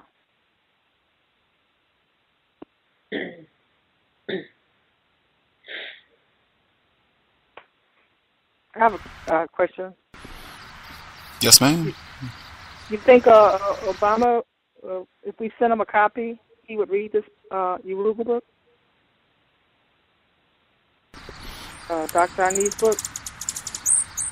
Mm, I don't know. He has a lot of white people around him. Um, might be kind of dangerous to have this uh, in his position. Um, actually, though, but I just from reading, I could be totally incorrect. Uh, who knows? But when I read Yeah. uh, Dreams from My Father, I got the impression that he was not that confused. Um, Oh, I mean, I certainly gauging by his behavior, I know a lot of people would say he either is super confused or super content. Um, you know, going along with racist man, racist woman, racist child, which may be the case. Uh, but I got the impression that he was not the most confused non-white person that I had ever read or heard speak. Uh, he used the term white supremacy in his book. Um, I don't know, just from some of the things in the book, it, it gave me the impression that this was someone who had, some, in fact, he was telling a story when he was in Hawaii. I don't have the book in front of me, so I'm doing this by memory. But he he was talking about when he was in Hawaii, his white grandfather would go and drink with a black male, and he was talking to this black man, I guess his grandfather's quote unquote friend. He was telling, "Ooh, one of the worst combinations ever." But so telling in this story, right? The black friend is talking to uh, President Obama, and uh, President Obama's white grandfather had fallen asleep. Right? They've drunken, and he's you know knocked out or whatever. And the black guy is like, "You see that? Your grandfather, he can fall asleep and not have a carry in the world. You know, not have any suspicions or concerns about me doing something to him or something happening to him. I could never fall asleep in the presence of a white person. And that is the difference between us. And I thought just that little nugget right there, that is astronomically clearer than 80% of the non white people that I come in contact with. yeah. Mm. Hmm. Maybe I'll have to get that book. Lots of cowbells there. Woo! I don't think I can stomach it. If I go to the library, I won't so I'll, it, I'll so I'll- so I'll take your word for it. It, you know, I said the same thing. I really did. I was not. I was super resistant, and plus, it was a, a non-white person who was just. They they just seemed like President Obama is is the seer, is the savior. He is our hero. He is the best thing since the wheel. And you know, I was never on that. Even though I'm not, I've never been on the bashing him. I just was never caught up in all that. It's just we're in a system of white supremacy. White people apparently want him to serve their duties, what they're trying to accomplish. So you know, I was just never on all that. I didn't want to read it. Whoa! I remember when I read it. I thought, wow, this book it revealed so much to me about racism, white supremacy. The ca- if matter of fact, if she had just told me the sexual dynamic is all over this book, that would have probably been enough for me to read it because it pops up so much where he's talking about his white grandparents and his white grandmother being racist and even his white grandfather calling her on this. Uh, the story about his uh, white grandfather's black friend. Later, uh, the Vanity Fair article that our Skype caller mailed to me, where he's going into detail about him dating these white females, and the race thing keeps popping up, and them not being able to relate, and them having different views on racism, and even popping up later when some of his siblings are marrying white women, and the racial dynamic playing out there. Like the sex thing is all over the book. Uh, in addition to some other, con- he talks about Minister Farrakhan because they were in Chicago together. It's I just it revealed a lot about racism. I would, uh, if I would, I don't necessarily say buy it, but you can probably get it at the library for free, or if you can get a cheap used copy for like a dollar or what have you. If you have the time, I would say check it out. Oh, okay. to be quite honest with you, I think a person like President Obama has a interesting quote unquote advantage in the sense that he was raised and he saw white supremacy at work up close and personal and he was able to see the rationale behind or reason behind his grandparents' behavior and thought patterns. So I think he had a, in, just by what you're saying, it just sounds like he has a, um, only a person like him can actually be voted for, galvanized by white people in the United States to be president of this country. Only a specific person who has been upbrought, like who's been brought up around that dynamic, can only be well, the only non-white person that can be, in my opinion, president of this country, representing white supremacy 24 hours a day, seven days a week, 365 days of the year. It has to be that specific makeup of a person to, you know, take the helms as a non non-white person in the U.S. I think, especially not no quote unquote descendants of slaves, quote unquote. No way, impossible. I and I say impossible because of our, well, some of us, I should say, especially in this day and time, because of our genetic memory. However, what I also question is, even though he himself, Obama, was raised around that, what cultivated him to resist that or to have a different stance on racism, white supremacy? What caused him to say, you know, after dating all these, you know, slew of, of white women, you know what, we, we this is not going to work out. We don't see the eye to eye. You know, we come from different cultures. Yet he was brought up in that culture. That's what I don't understand. Which, what what Utamaroho, Utamaroho, so to speak, what kind of Utamaroho made him negate his grandparents' culture or his mother's culture, so to speak. That's that's what I would like to know.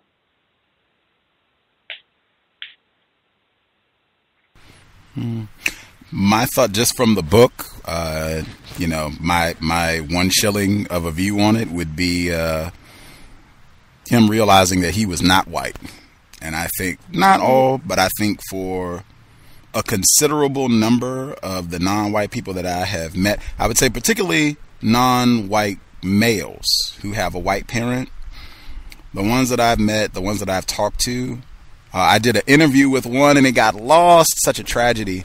Uh, but the ones that I've met, uh, particularly who have one white parent and one black parent, as opposed to one white parent and one non black non white parent, the former category, they come to realize I might have a white parent, but I am not white.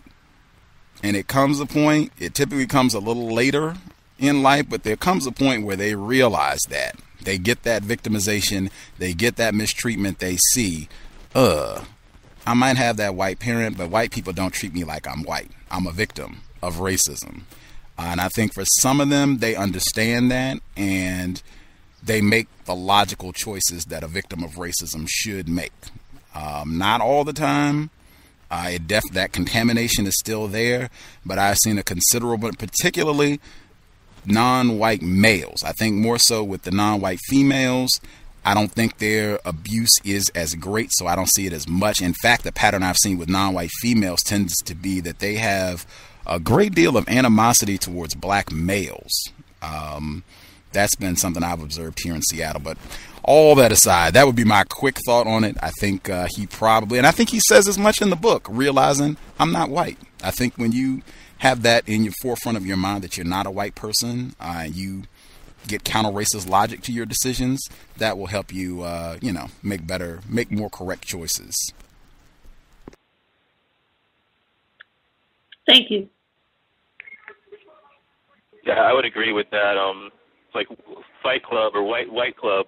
You know, first rule, don't tell anybody about White Club. Second rule, everybody's got to be white.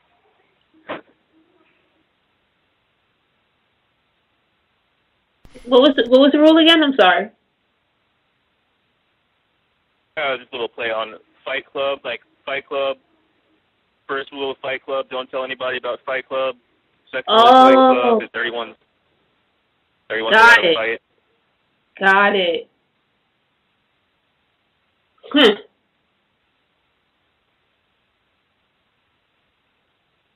Hmm. That would be an interesting one to think on um, for folks. You know, ponder on that. We can chat about it on the uh, compensatory call in.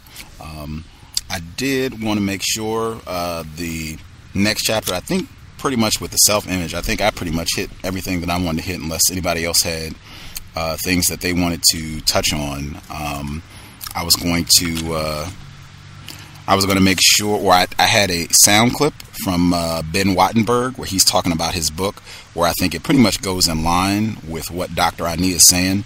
Uh, did folks want to hear that, or do you all want to press on to the rhetorical ethic? Let's hear it. Let's hear it. Okay. This is uh, Ben Ben J. Wattenberg. Uh, he is uh, the author of The Birth Dearth. Uh, that's the book that Dr. Ani was quoting. As I said, he has other projects as well, uh, other books that he's written. I think more recently, uh, the book that he authored, uh, Fewer, that's the title of it, Fewer. Uh, and it's the subtitle for the book is How the New Demographic I'm Every time I get it up on the screen, I click and it disappears. Okay. How the new demographic. Still getting caught. Okay. How the new dem- demography of depopulation will shape our future. Fewer, that's the title. Fewer, and the subtitle is how the new demography of depopulation will shape our future. Uh, now, if you all want to check out the entire segment of this piece, it's uh, it was on C-SPAN. You know they do book TV. Uh, it's like an hour interview, very interesting. He has charts, graphics. He has uh, answers a few questions. Uh, I can put the link in the chat room. You all can check it out yourself. Uh, but this is real interesting and I think it hits exactly on some of the points that Dr. Ani raises. This is from 2004, uh, Mr. Ben J. Wattenberg. So I'm going to take one more question oh, from Rob Sprinkle. Uh, yeah, Rob Sprinkle from here at the school. Uh, your graph showing um, an American population of 409 million in, two, in 2050 is an interesting one. And uh, surely if we were that much bigger, we would be different in many ways. I found it a little curious that the, that the difference that you spoke of particularly was one suggesting that we, we would be strategically stronger. And I, well, these, well, my colleagues are asking many other very interesting questions. I was thinking about that. And I can see such an argument being made about the effect of an immigration-driven increase in population strengthening the United States from the Civil War to the Second World War, perhaps beyond. Um, the prospect presented by this increase to 400 million, though, doesn't sound like exactly the same kind of immigration. I, I was thinking to other countries that have had population increase by immigration and wondering if they felt strategically stronger. I doubt that France would feel that way now. They, they, because they're shrinking. Well, they, I, well, they, they, certainly have more immigrants now than they have in the past. So, and they're immigrants and Muslims. And they're Muslims. Yeah. And they, the French might feel that, gee, uh, maybe Charles Martel lost the battle of Tours yeah. in 720. You know, maybe we got that wrong. And and certainly there's the the major example of the Roman Empire in the West from the first century to the third, and particularly the fourth and the fifth, uh, where I don't think anybody would have continued to think that large-scale immigration had made Rome strategically stronger. Just the opposite. Now, you may be right, but if you are right, you must have interesting reasons to explain why you think that's true. Well, I, I mean, I, I think that in America, by and large, assimilation has worked, uh, and, and, we have uh, created a society uh, that is an America, a uniquely American society. It's uh, there's one little uh, pinpoint of data. Proportionately, the number of Latino soldiers who win Medal of Honors is higher than for any other group. So um, we do, my judgment, we do pretty well at this game we call assimilation and immigration. And uh, I mean, there's this phrase typically used uh, pejoratively called flyover country. And you know, when you fly over and you saw the red state, blue state, I mean, when you fly over America, once you get 100 miles or so beyond either coast or, or, or the Gulf Coast, uh, it's pretty open country. I mean, we could go to a half a billion or 700 billion, 600 billion, whatever it is, and I don't think anybody would know the difference.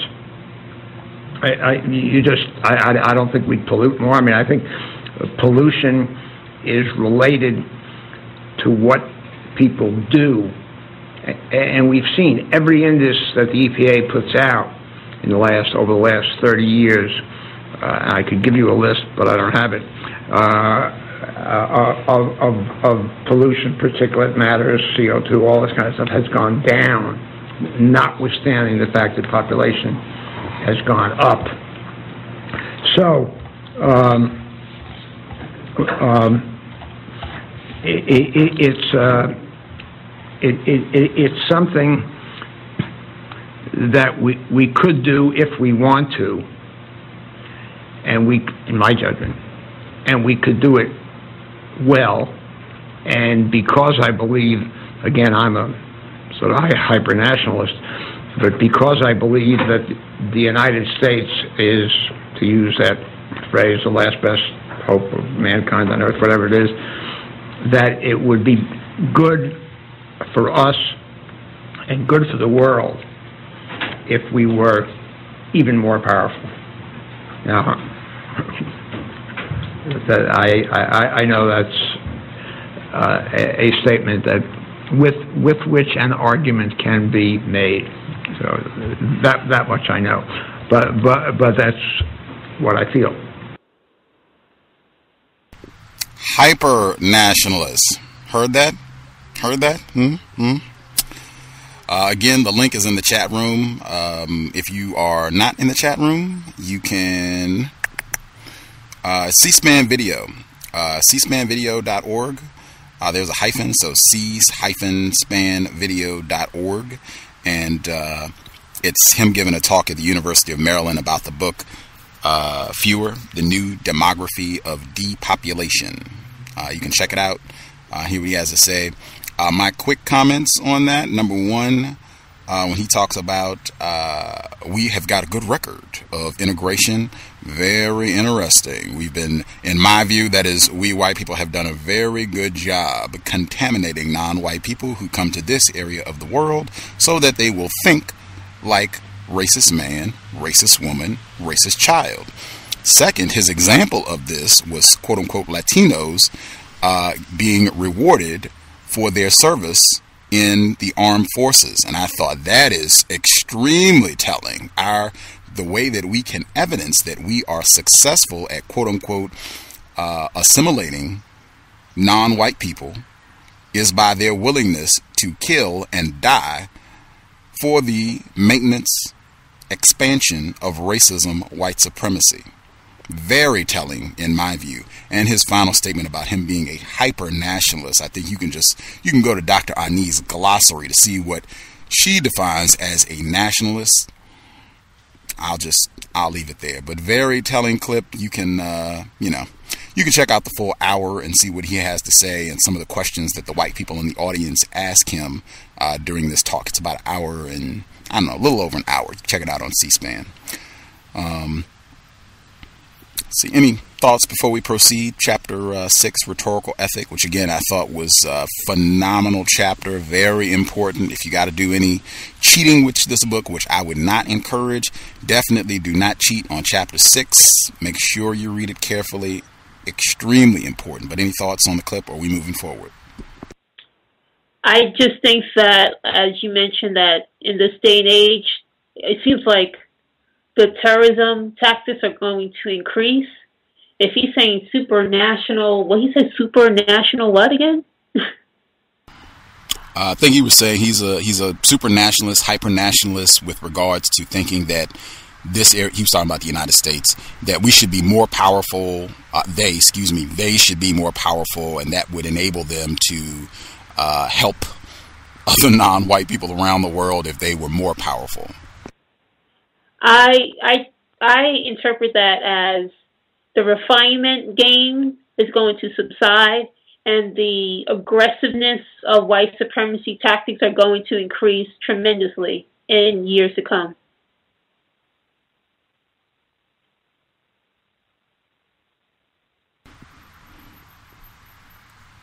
I concur. Unfortunately, that'll be the broadcast this Sunday. That's what we'll be talking about. I would unfortunately anticipate uh, white people taking off the gloves. Uh, and as I said, I don't, I don't believe it's just a part of the Asili. White people don't really like to hide their terrorism. They really enjoy gloating over their victims uh, that they have stomped on. They, I mean, that is an integral aspect, I think, of the Asili.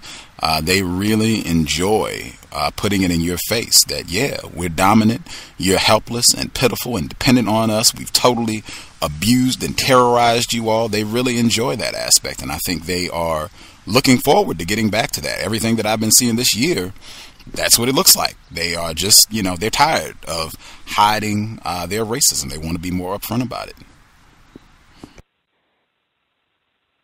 Yeah, I um, I, I used to attend a, a school in New York called the Ethical Culture School, um, with lots of white people. Um, and and these white kids they play this game called Risk a lot. I've been like over the all the like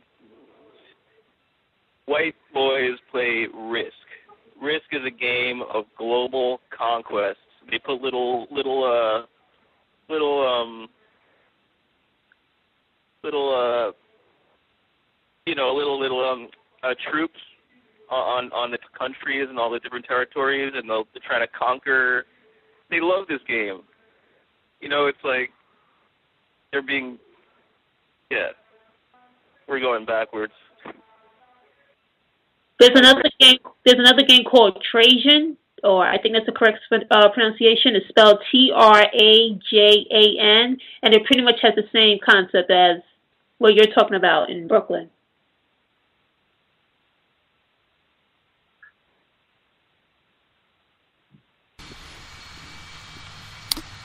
All areas of people activity, any way that white people invest their time, they make sure that they never lose sight of their primary objective, their primary expenditure of time, energy, currency, their life force should be about the continuance of white terrorism worldwide. Their games reflect that. Their quote unquote leisure activity reflects that. Pool, Dr. Welsing.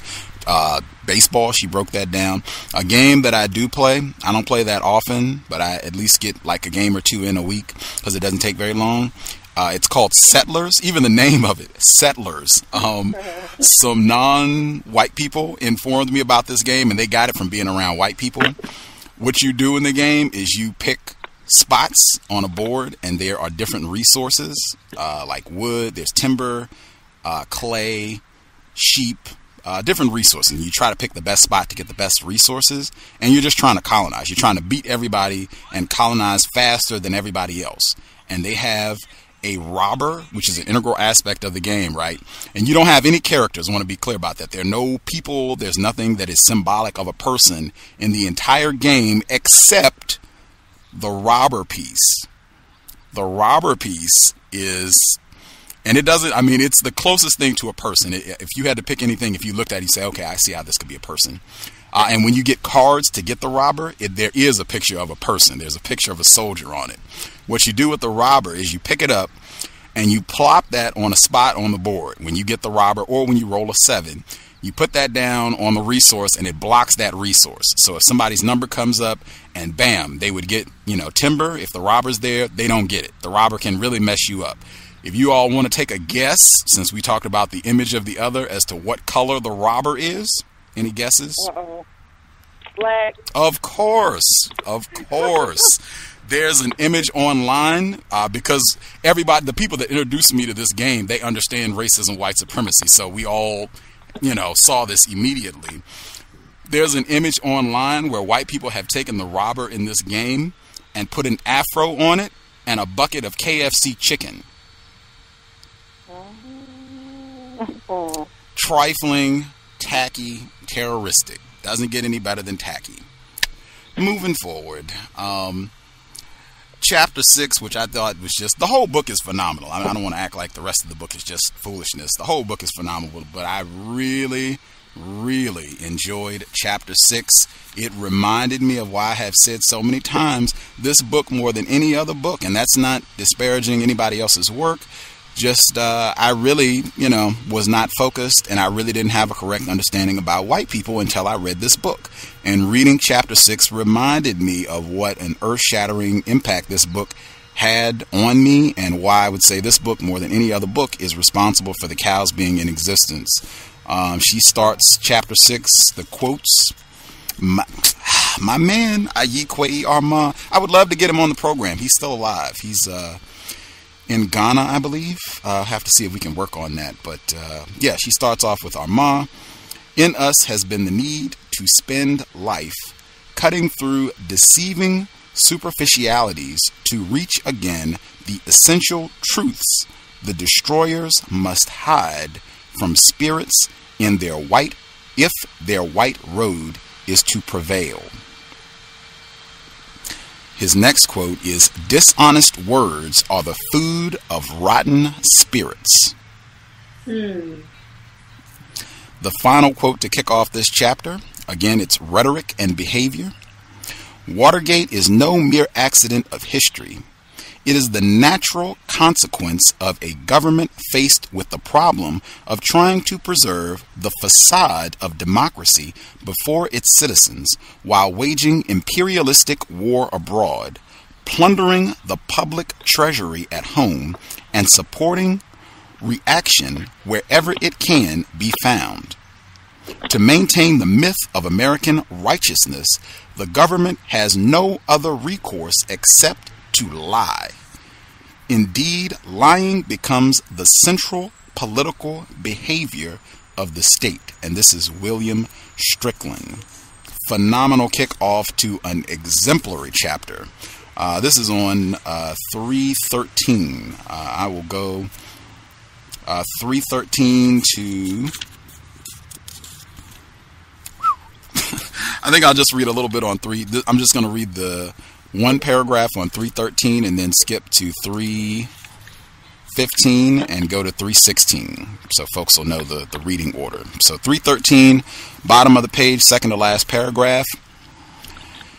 This is a common misconception that has led to a mistaken view and a superficial understanding of the nature of European society, white people.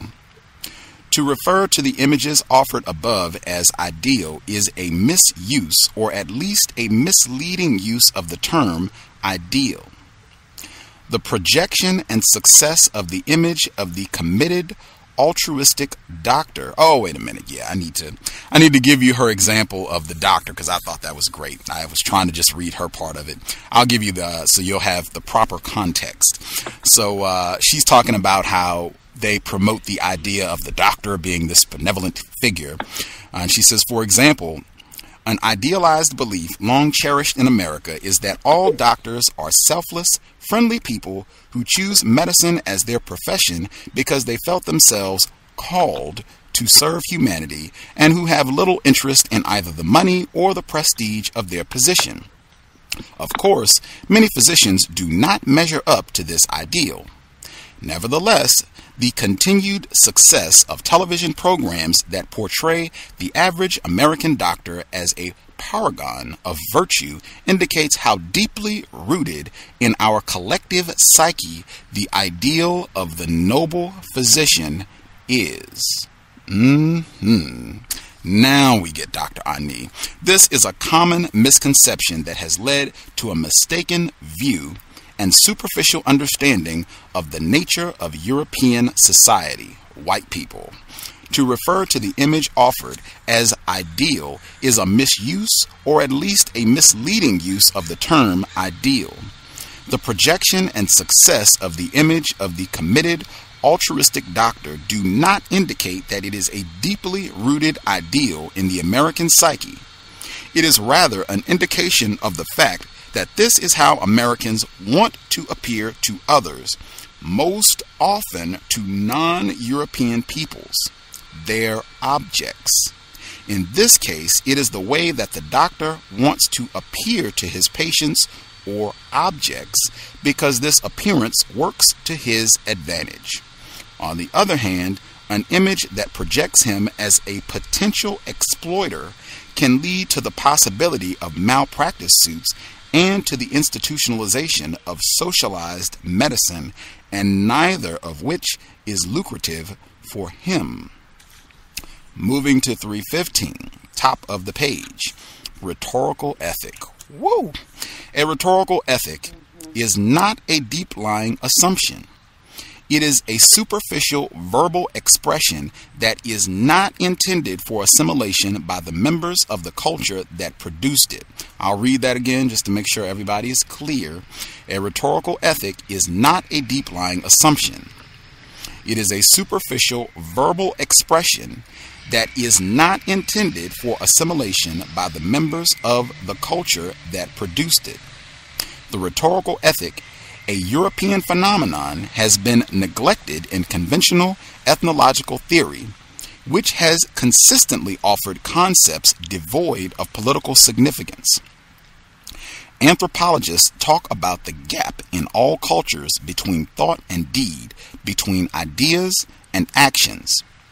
This gap to which I am referring, however, is between verbal expression and belief or commitment between what people say and what they do. Nowhere other than in European culture do words mean so little as indices of belief. It is this characteristic that is of concern here, and this characteristic for which the concepts of traditional anthropology are inadequate to explain.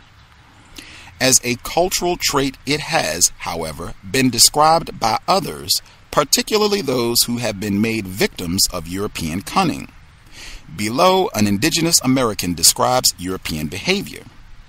They would make slaves of us if they could, but as they cannot, they kill us.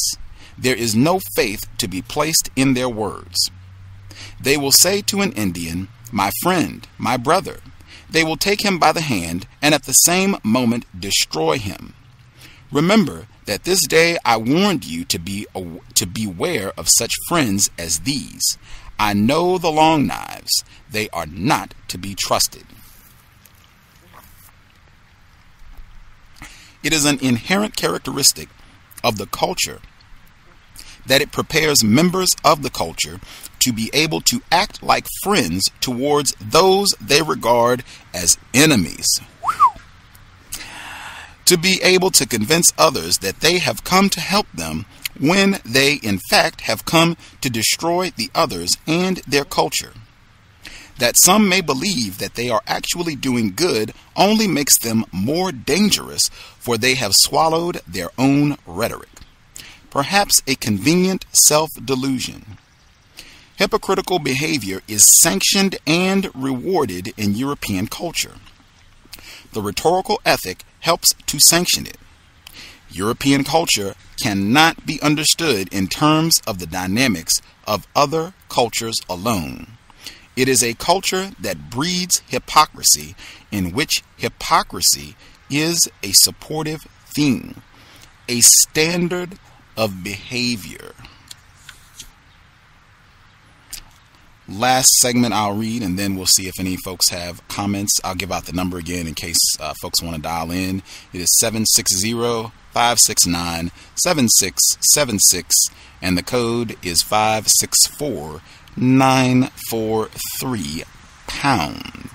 Uh, the entire time that I was reading, reading this section, Timothy Wise just kept flashing across my mind. Uh, in my view, the so called white anti racists these are the vanguard of the current rhetorical ethic of racist man, racist woman, uh, getting non white people to believe that there are some white people who are not racist when racism, white supremacy is a core aspect of what it means to be a white person. On 316, top of the page. The distinction and definitions that can lead to a better understanding of the Europeans and their culture can only come from a perspective that is not one of European chauvinism. for it is the method of European chauvinism or cultural nationalism to conceal European interests. As I use it, value is only meaningful value. It is that which motivates behavior and is the origin of human commitment. Value determines what is imitated and preserved, what is selected for and encouraged. Avowed values, on the other hand, which are merely professed, which find expression only verbally, which are not indicative of behavior, belong to what I have called the rhetorical ethic. The European rhetorical ethic is precisely that purely rhetorical, and as such has its own origins as a creation for export, i.e., for the political, intercultural activity of the European. It is designed to create an image that will prevent others from successfully anticipating European behavior, and its objective is to encourage non strategic, i.e., naive, rather than successful political behavior on the part of others. This is the same as non political behavior. It is designed to sell, to dupe, to promote European nationalist objectives it packages European cultural imperialism in a wrapping that makes it appear more attractive, less harmful. None of these features represents what can culturally be referred to as an ideal in any sense. The rhetorical ethic is, therefore, not dysfunctional in European culture. It does not generate nor reflect conflict in European ideology or belief system but it is rather necessary to the maintenance and projection of the Utamaroho and performs a vital function in sustaining European cultural nationalism in the pursuit of its international objectives. The rhetorical ethic is made possible by the fact that hypocrisy as a mode of behavior is a valued theme in European life. The same hypocritical behavior that it that its presence sanctions. Again, value refers to that which is encouraged and approved in a culture. European culture is constructed in such a way that successful survival within it discourages honesty and directness and encourages dishonesty and deceit. The ability to appear to be something other than what one is, to hide one's self, one's motives and intent. People who are duped by others and relate to a projected image are considered fools or country bumpkins. Hypocrisy in this way becomes not a negative personality trait, not an immoral or abnormal behavior, but is both expected and cultivated. It is considered to be a crucial ingredient of sophistication, a European goal. European intercultural political behavior is based on hypocrisy, as are business relations, the advertising media, and most other areas of public and social interaction. It is merely a manifestation of this theme when Americans, white people, claim that politicians are basically honest. The claim itself is hypocritical, and the public expects it to be so. We all know that the objective of commercial advertising is to convince us to buy products so that manufacturers can make large profits. But the slogans attempt to persuade us that the product is beneficial to our well being, as though the producer has our welfare at heart. This hypocrisy touches the lives of every member of the culture in their dealings with one another, and yet it originates, in part, in the nature of their intra intercultural relationships. It is a part of the mechanism of European expansionism. All of these factors must go into the understanding of the rhetorical ethic and not an overly simplistic distinction between ideal and actual culture. Perhaps a relevant distinction with regard to other cultures that create and are created by very different cultural personalities. I will stop there Uh, this is on 317, what I was reading, actually from 316 to 317. I think, as I said, extremely important to understand white people. They are very good at projecting one image as though they are about brotherhood and justice and equality, while they know good and well that they are committed to the practice of white supremacy forever. Just got to make sure that non white people don't understand that, so that non white people think that Timothy Wise and any of these other white people, Jane Elliott, Dr. Peggy McIntosh, you name as many as you want, to think John Brown, that these folks are in can change, are going to change, are going to stop practicing racism, and nothing could be further from the truth. Uh, any of the folks on the line have any comments? I'll also check to see if we have any hands as well. Uh, the folks on the line, uh, Skype caller, Brooklyn caller, and uh, the female caller, your line is open. Malik B. Wise, your line is open as well. Well, basically, it's, it's like everything that they do is built on a lie. You know, like from you know Christianity saying turn the other cheek. You know, and like they came to like Africa and gave them the Bible, and then you know they left with the land. Well, they have the land now, so that's how they do what they do because they they they're able to lie and convince people that they're they really have this goodness and brotherhood about them, and it sounds good, but in reality, it's not the case. But somehow we kind of believe it. I think that's where the religion comes in. It kind of weakens us and kind of we get our defenses down and stuff. So they kind of go hand in hand. Yeah, that's just my opinion on it. Can I be heard? Yes, ma'am. Um, my code word for white people for a long time has been the following term, the persuasions, you know, Caucasian persuasion. So when I'm in public and I'm talking about them and like to my friends or something, I call I use the term persuasions.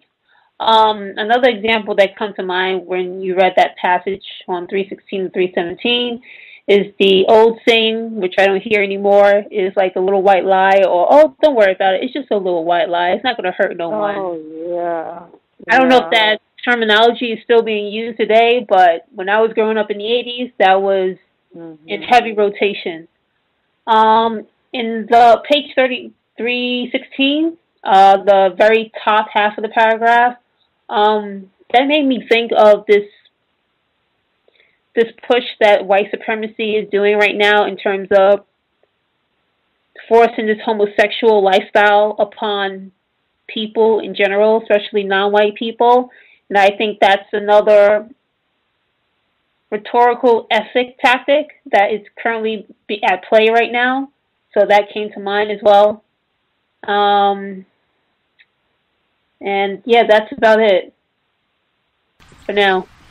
What do you mean when you say you think the uh, so-called gay rights and or uh, homosexual push is another part of the rhetorical ethic?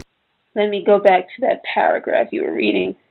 Ah, when you go to talking about it meaning the European rhetorical ethic is designed to create an image that will prevent others from successfully anticipating European behavior or its objective is to encourage non-strategic, i.e., naive rather than uh, rather than successful political behavior on the part of others.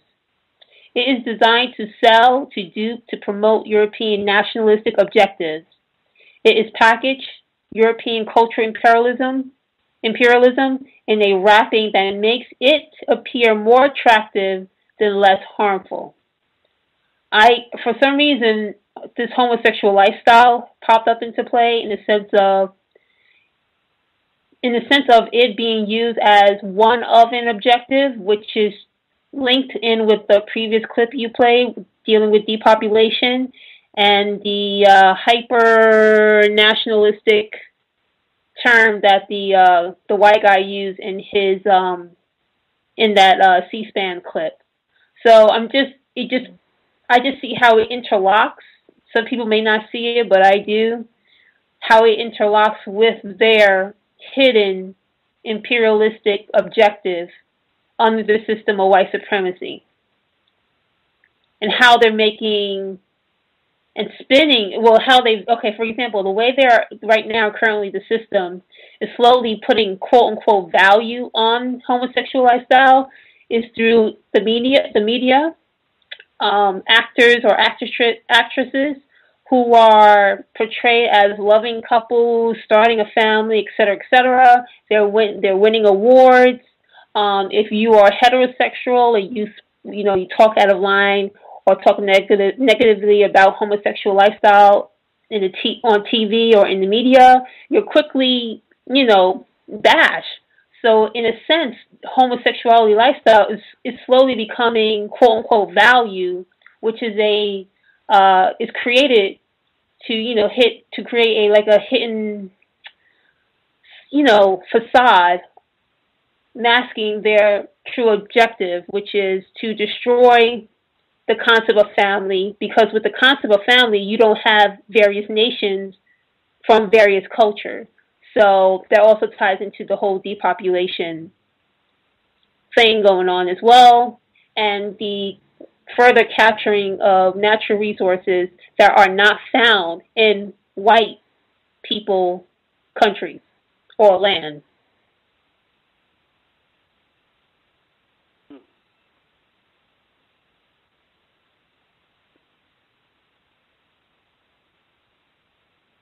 That's all for now. I got a question for. So do you, do, do you mean like? Do I see what you're saying is like I, I kind of it's interesting um the way the Neely Fuller definition of uh yeah, I just see the sense in calling so-called homosexual like I, I see I think it's more accurate to say anti-sexual because from what I know about sex it it it it, it produces life you know? So then like if it doesn't produce life it can't really be called sex. So then like you know anti-sexual makes more sense. So then uh just using words to obscure truth rather than to to uh to to discuss it or to you know uh make it available for people to you know to see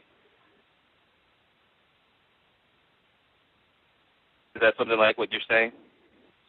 It's kind of like that, but I guess another way of saying it is that I see the whole homosexuality lifestyle being pushed forth, one, as a political um, football. Therefore, if it's if it's being used as a political football, it is covering the true objective, which is to destroy, in my opinion, which is to destroy the further productivity of trying to sustain a family in this day and age. Whatever, you know, a family in the sense of between a man and a woman and bearing children together willingly and raising them and rearing them the best you can as as a unit.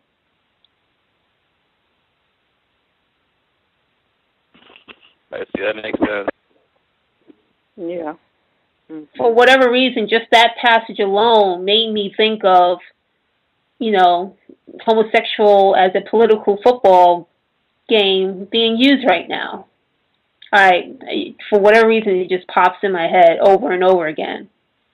And I and I was questioning myself. I wonder if it's being used in that manner. I I, I don't know because I'm not one of the members who sit at the seat of power. So well, it's like what are people not talking about? You know, like I mean, if people are talking about things that are like just not pivotal at all, and they are at least kind of destructive, if not extremely destructive. So then it's like if they're talking about these really superficial, somewhat destructive things, then what are they not talking about? And then you realize how many massive, glaring problems we have that we could deal with if we weren't busy talking about things that are just pointless. So yeah, I, I see what you're saying. The the rhetoric is just covering up the uh, the, the glaring problem of racism, white supremacy. I mean, like we're not we're not we're not trying to get bogged down in the, in the rhetoric here, you know. So yeah, we're talking about white supremacy. Right. Even like the rhetoric that like politicians use in camp in like in the campaign trails, you know. That's an example. I mean, they say one thing, but they're sticking to the uh, main objective, which is to maintain and further expand the system of white supremacy in any given European country.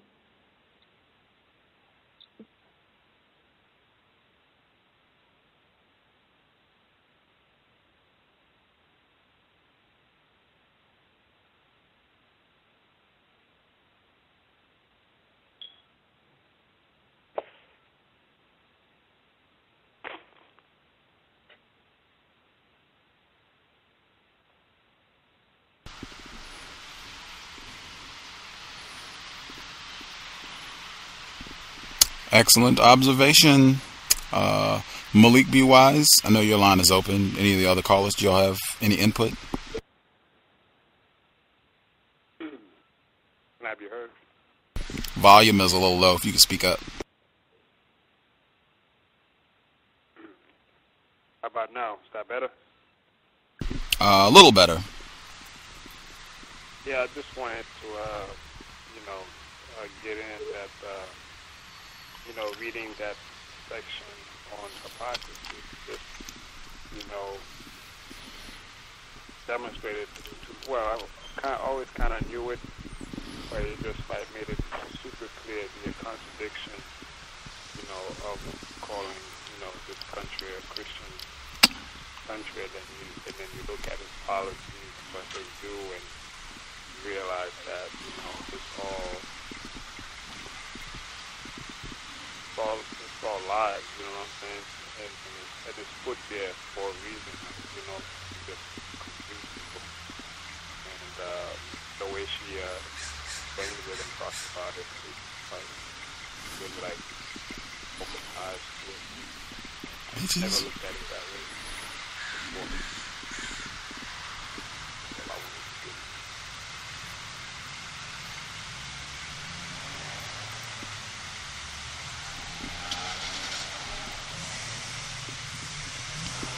Yeah, I mean, even even white people calling themselves Americans. I mean, that that that's rhetoric. I mean. Mhm.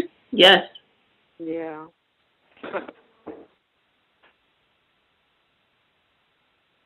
or or you know saying oh disadvantaged groups like I mean like gay people I mean so-called gay people have never you know been lynched and you know burned and uh, enslaved and on the behalf of non you know anti-sexual people and, and then you know like all the men in the world have ever you know enslaved females but like linking it all together and saying oh the disadvantaged or certain groups. They never get specific. They say groups, but it's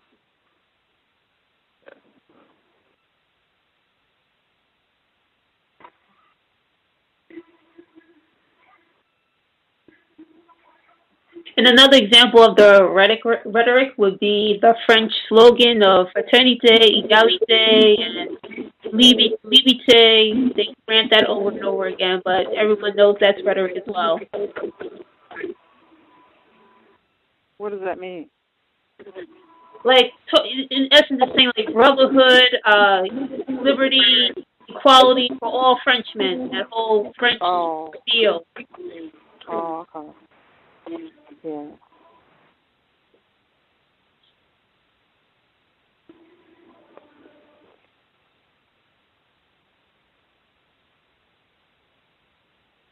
I guess maybe the pre- uh, Pledge of Allegiance would that be considered rhetoric? Uh, I would say so. Yeah, and they make all of the. Well, I don't know if they do it nowadays like they used to. In schools, make the kids, children say it.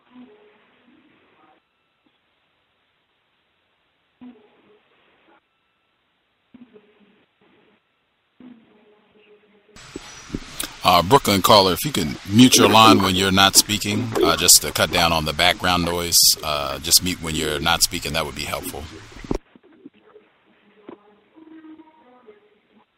Oh, sorry.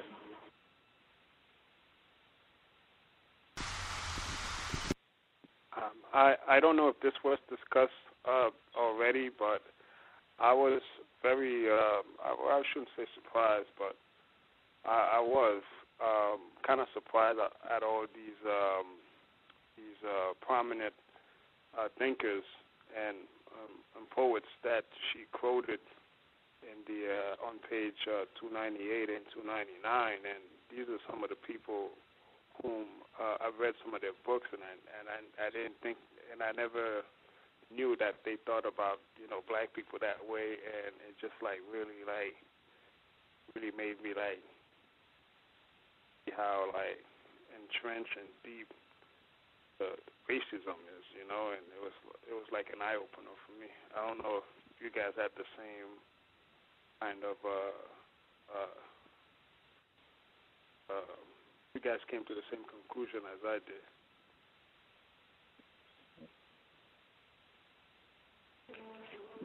The first well, time I'll around. just, I, it was. Oh, go ahead. I'm sorry. Go ahead. Okay. Um, I, I just saw. I was watching it randomly. I, I was watching a random documentary yesterday, and it mentioned that guy Toynbee, which I had never seen the guy's name before, but um, it was talking about this guy Toynbee talking about some kind of solution where they would go to go to like like like reanimate dead bodies on Jupiter or something, having it I don't know, it was it was kind of strange, but it was kind of interesting, but uh yeah, just I guess all these all these historical figures, they all I guess the, the people like to say, "Oh, everybody was racist back back then." Oh yeah. But this rhetoric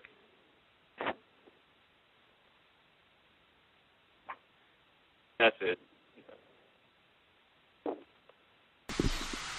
The uh, book, because I had mentioned it before, um, where white this is a white person who's doing the literary breakdown of Edgar Allan Poe and you know how this is this is all racism that's just being coded. Uh, the book is titled Miscegenation, of course, and the author is Elise Lemire, uh, and it's L E M I R E Elise Lemire. Uh, and it's titled Miscegenation. This is a short book. Anybody, if you don't like reading, you know, wordy texts that are full of white jargon and $20 words, uh, this would be one I would recommend. It's short to the point. I don't think it's even 200 pages, and uh, it. I thought it had a lot of great info. She talks about uh, Thomas Jefferson, Sally Hemings, Edgar Allan Poe is in there. Uh, I think she comes more contemporary as well. But uh, yeah, I thought it was a lot of helpful info. What's her last name? Lemire, hope I'm saying it correctly. Uh, L E M I R E. Elise Lemire. Okay. And the book is titled Miscegenation.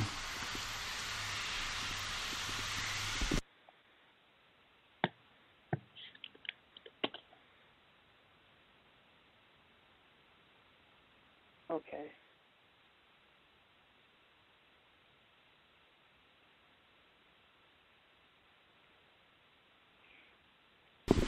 I got a quick question uh, for you, Gus. On page 288, she, uh, Marimba Ani, she was quoting uh, this uh, this guy, this European guy from uh, uh, South Africa, P.W. Botha, and and I think he, uh, on the fourth paragraph of his, uh, you know, speech or whatever, said that it is our it is our strong conviction that the black is the raw material for the white man. What do you think he meant by that? I, I, I wasn't. Uh, I didn't understand that sentence. So I think that what he was trying to get at. Said that. Uh, can you give me the page number again, please? Oh, it's 288. 288. Okay. Okay. Like the fourth uh, paragraph of is our strong conviction therefore that is. I, I didn't understand that. But that, what did he mean by raw material? One, two, three, four. Oh, okay. Uh, I think that uh, meaning that black people are supposed to be used. Uh, we don't necessarily want to kill them. We want to keep them around. They can be used to dig our mines or uh, any any tasks, laborious objectives that we don't necessarily want to accomplish. They can be used for those objectives, but we need to be in domination. Uh, the same way that non-white, or excuse me, the same way that white people in this area of the world will use so-called uh, immigrants, uh, so-called Latinos, will use them. Any of the uh, tasks, work that they don't want to do, we can just use these non-white people to get that done. Uh, I think that's what he means when he says raw material uh, in that passage. I could be incorrect, but I think based on my knowledge of P.W. Botha and the way they got down to South Africa, I think that's what he means. We're just going to use them uh, to do, you know, our little the help basically. Um, I actually had a a quote. This is a fabulous documentary. I've recommended before. I don't think I've mentioned it in a while, but it's Witness to Apartheid. Uh, it got nominated for an Academy Award. Surprisingly, it came out in uh, 1984 and some white people went into South Africa. This is when they had like the real brutal in your face white supremacy. And they were just videotaping what was happening to black people. They were being terrorized, black people. And uh, P.W. Botha, I believe it's either his wife or his daughter. I think it's his wife. Uh, P.W. Botha, uh, racist white supremacist, his wife is just making it plain. Like, I mean, this clip will give you an idea of how explicit the racism and white supremacy was in that area of the world at this time. And it might even make that passage a little clearer, uh, what the white people were all about. But this is a segment from Witness to Apartheid, and this is uh, Mrs. Botha giving her view. White, and so do I feel as a white person. Uh, we have survived as uh, pure whites for many years, and I think that we also have the right to keep on surviving as whites for the next two, three, four hundred years. So I don't see why we we should be um, um, we should disappear because that's what's going to happen. The, the white population in South Africa will totally disappear if um, this new compensation of um, of. Botha comes through. You know, we will just disappear. We will all become um, chocolate color. Now, in South Africa, we're not fighting the whites. We're fighting the evil system we're fighting injustice.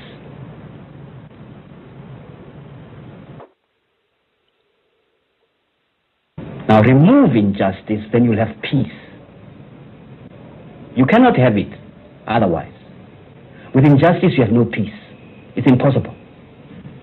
Anyone who wants peace must fight for, fight for justice. Now, we are fighting for justice. Now, the nationalists think they, could, they can have peace and quiet with injustice. It's impossible. They can't have it. You know, I think they are so confused by um, communist inspiring that um, they think we are doing them out on something. You know, we're doing them in, uh, if that's the way I have to put it. They're losing out on something. Uh, they always see a specter behind every protest. And uh, I just wonder whether one needs uh, an agitator to feel hungry. Uh, I do not imagine that I need an agitator uh, to protest against low wages.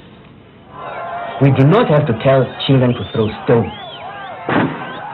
The children's reaction is an attitude, is a response to injustice.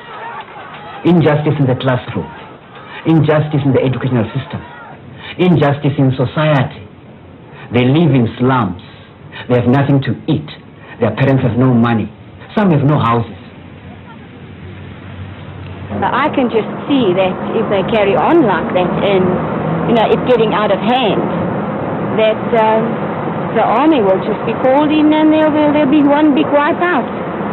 And I myself feel the only way to stop this is to have one big wipeout like we had in Sharpeville I think if the state president is put into a checkmate position where he really has to do something when it gets totally out of hand, I have no doubts about it that he'll call the army in and there'll be a, wipeout as far as I'm concerned. Even though he talks, you know, the language America wants him to talk and he's moving into that direction, I still believe that deep down he is a Boer. And um, uh, deep down, when it comes to the point where the whites will be wiped out because of violence or whatever, I really think that he will call in the army and you you see that us survive. It's not possible to fight for liberation without inconveniences are bound to run into that, and some of us have uh, been detained, and some are killed uh, because they're fighting for liberation.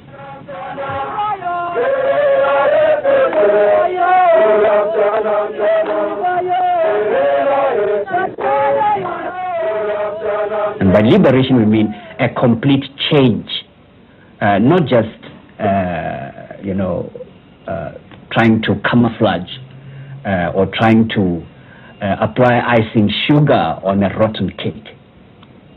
We, we need a complete change, a change of heart. In fact, we need a transformation, a complete transformation, a new person and a new society. Man, woo! Uh, that documentary is phenomenal. I would encourage folks to check it out. It is a little difficult to find. Uh, if you go to a major college, university, they'll probably have it. Um, it is, I cannot recommend it enough. Uh, and I would say that is evidence. It's what I'm on my job, uh, just studying, reading, watching material.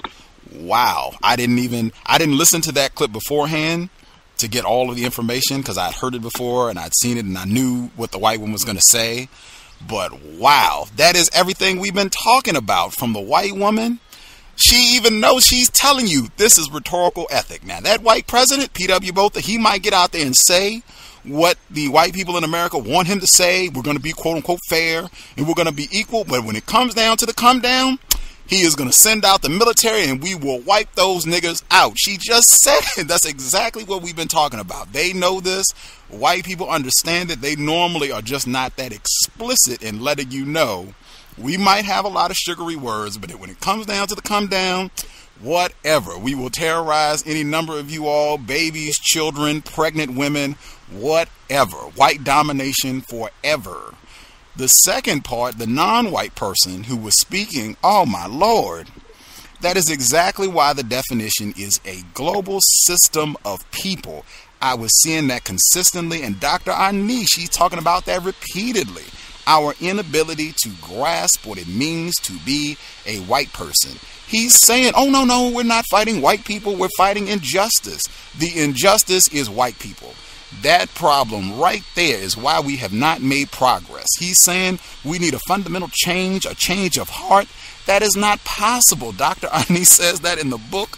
White people would have to totally change the asili, their DNA, if you will, to no longer be racist, and that's not going to happen.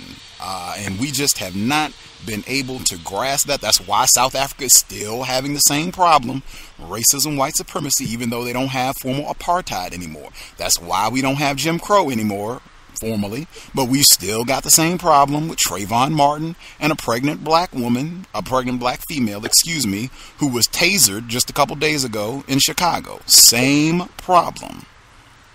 I'll mute my line. We have about 20 minutes left, so if you think you want to comment, you should get your hand up now or what have you. I'll mute my line, see if anybody else has anything to share.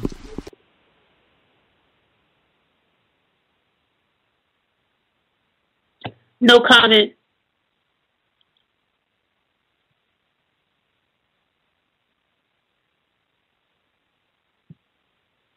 I just want to get in that um, I don't know anything that happened in South Africa because you know I wasn't born in this country. So I came here at a very young age and uh, came here like towards the mid '90s. So um, thanks for mentioning that documentary. I will check it out so I can you know further inform myself on uh, uh, the whole apartheid thing. So uh, thank you, Beth.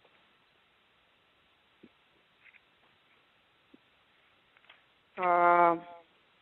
I have a quick um, something here on page uh, 318. There's like in the middle of the page, it's saying uh, as the uh, Christian ethic, universal love, brotherhood, peace, meek shall inherit, inherit the earth, turn the other cheek, love thy neighbor once officially recognized by the state was not designed for the assimilation and the moral guidance of Europeans. So all that stuff is for us, so they can take, you know, uh, so they can maintain their their their, their white supremacy uh, system. Because you know we believe that a lot of us do. Just like like he said, you know, oh no, it's not, it's not white. It's uh, you know, we want justice. You know, it's not color, and uh, but I think you know it comes from the, the Christianity again. It does a job on us. So that's just all I have to say. Mm. Yep. Yep.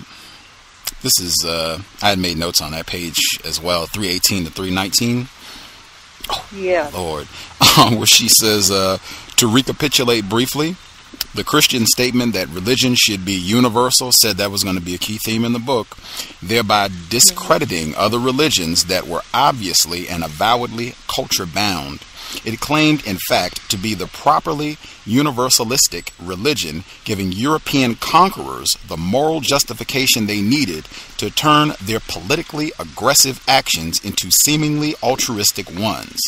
But what is most important here is that the Christian ideology pronounced as virtuous those very modes of behavior that immobilize.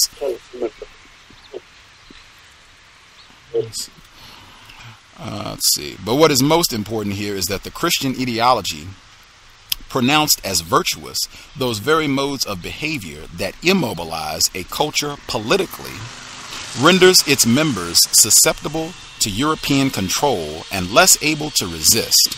The pursuit of peace, the love of one's enemy, which concretely implies the betrayal of oneself. I'll read that one more time.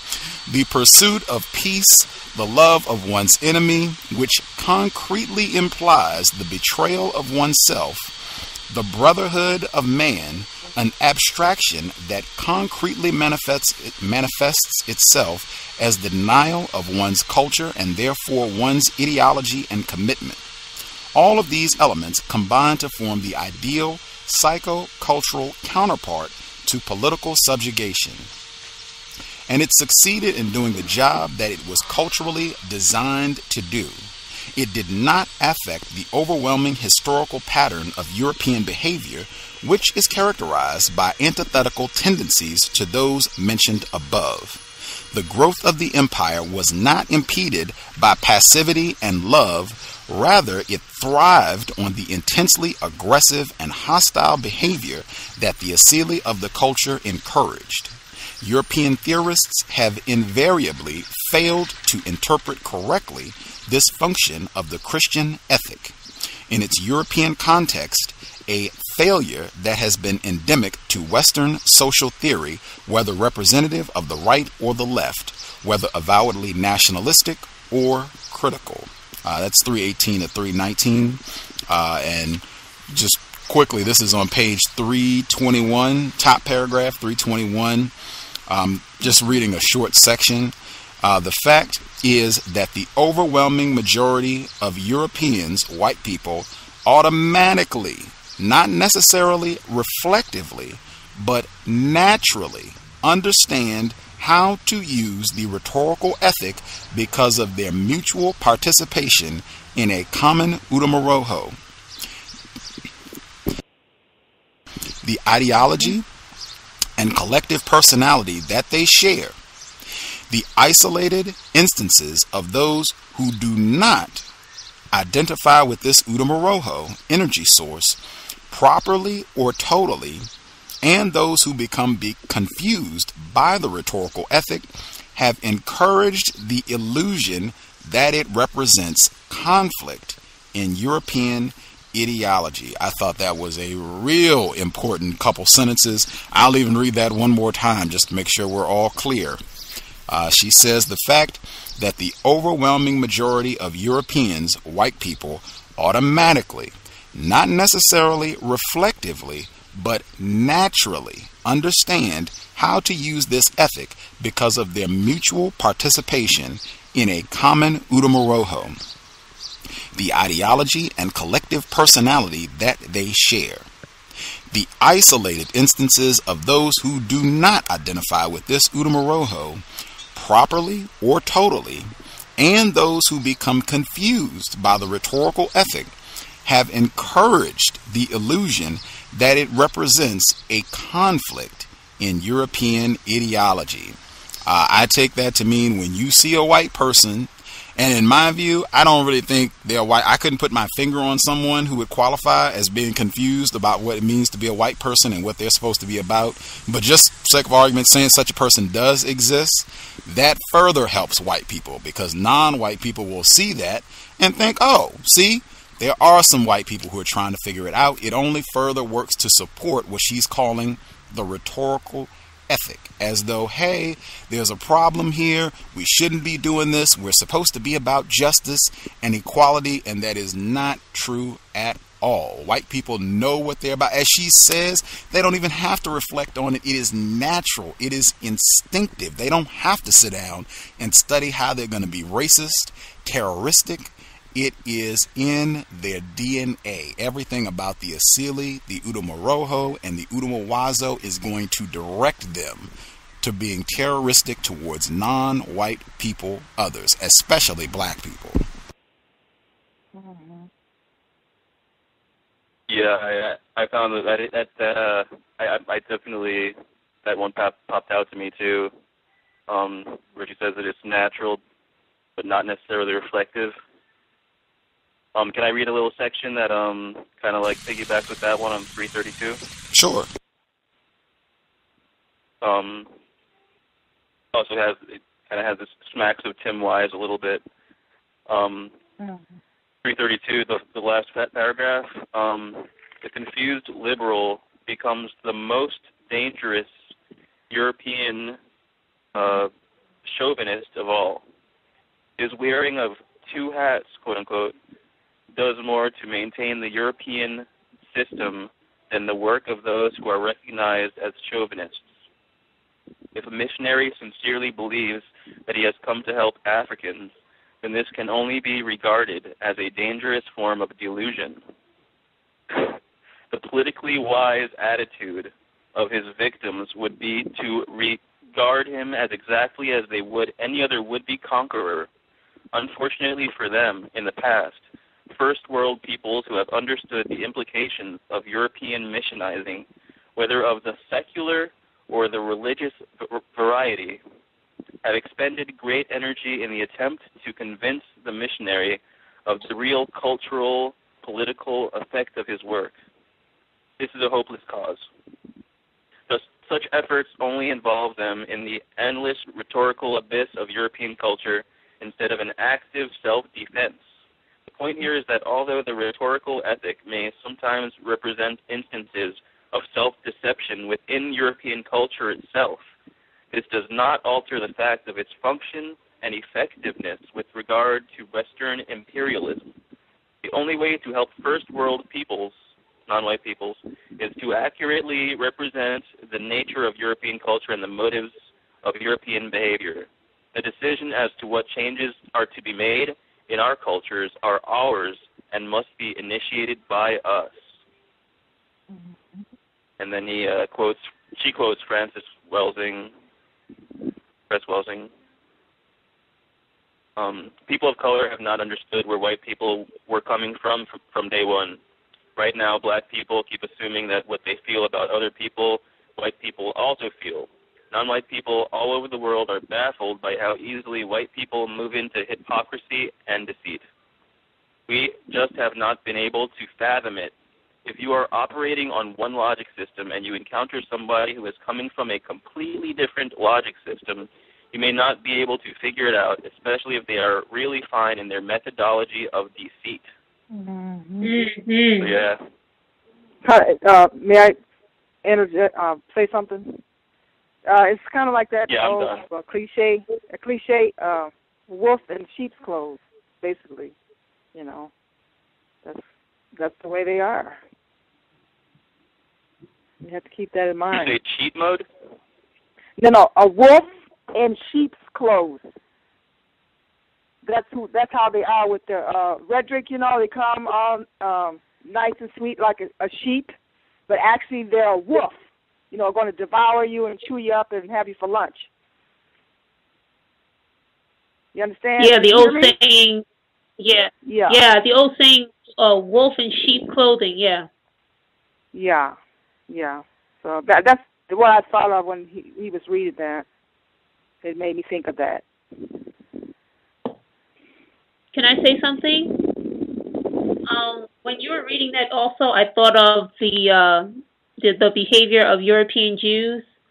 Sometimes they like to point out how, wait, wait, wait, I'm not white, I'm Jewish, or the minute they benefit from the system of white supremacy and everything, is, you know, hunky dory, so to speak. Then it was like, oh no, no, no, I'm Jewish, I'm Jewish. You know, I, I struggle too. My people struggle too. So I see Yeah. that kind of behavior as um, rhetoric as well.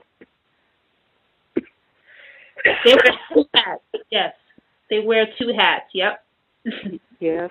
Mhm.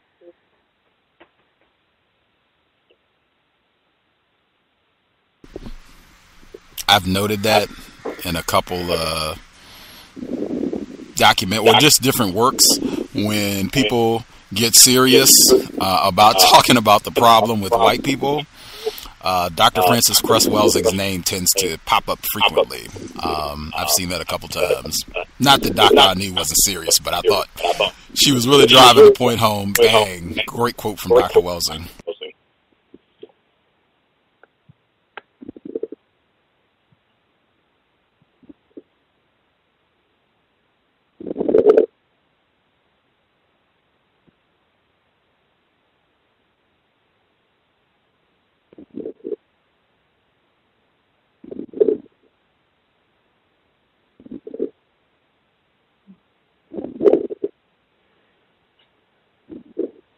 Hello.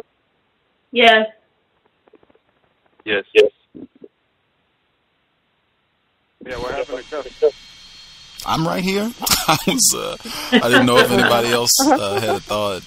Um, this is on 326, 327. Uh, we had about a little less than 10 minutes left in the program. Uh, if anybody has thoughts, comments, questions they want to get in, this is on 326 and 327. And someone did post links for Witness to Apartheid in the uh, uh, in the chat room. That was me. Oh, right on. Right on. Thank you kindly. Excellent documentary. I would encourage folks to uh, check it out. a lot of great info on just the explicit nature of white terrorism uh, in the area of the world known as South Africa. Um, this is 326, 327, same chapter, rhetorical ethic, excuse me, rhetoric and behavior. Uh, bottom of 326. White supremacy is characteristic of European culture, not exceptional or aberrant and Nazism is the manifestation of the extreme possibilities of these tendencies when the control mechanisms of the culture fail. That is, when the destructive tendencies are unleashed among Europeans. Robin Williams, on the other hand, struggles to demonstrate the logical inconsistency of racial determinism with Western ideals.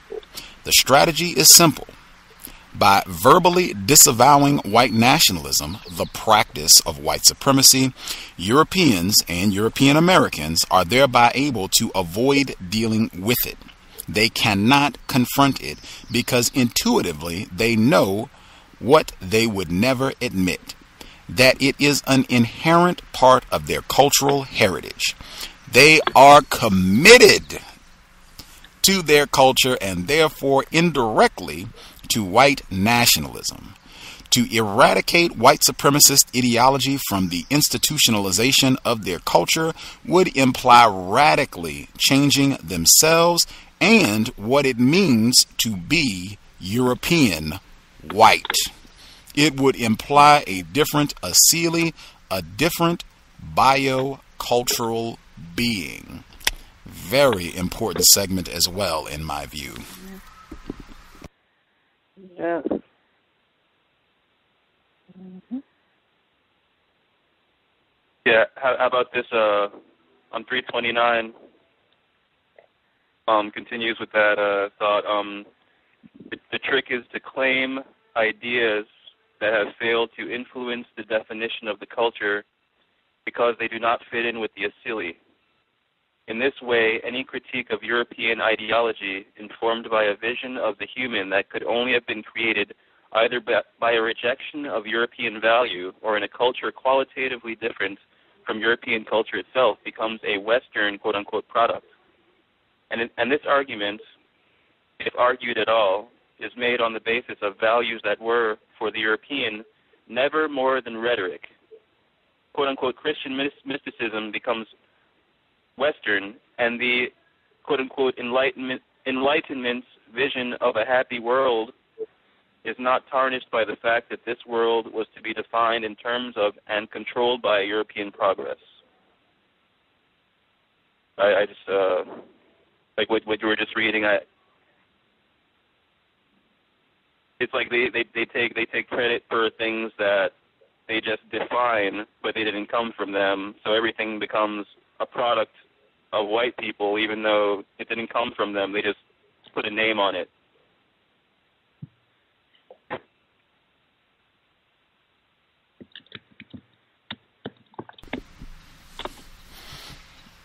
Yeah, absolutely.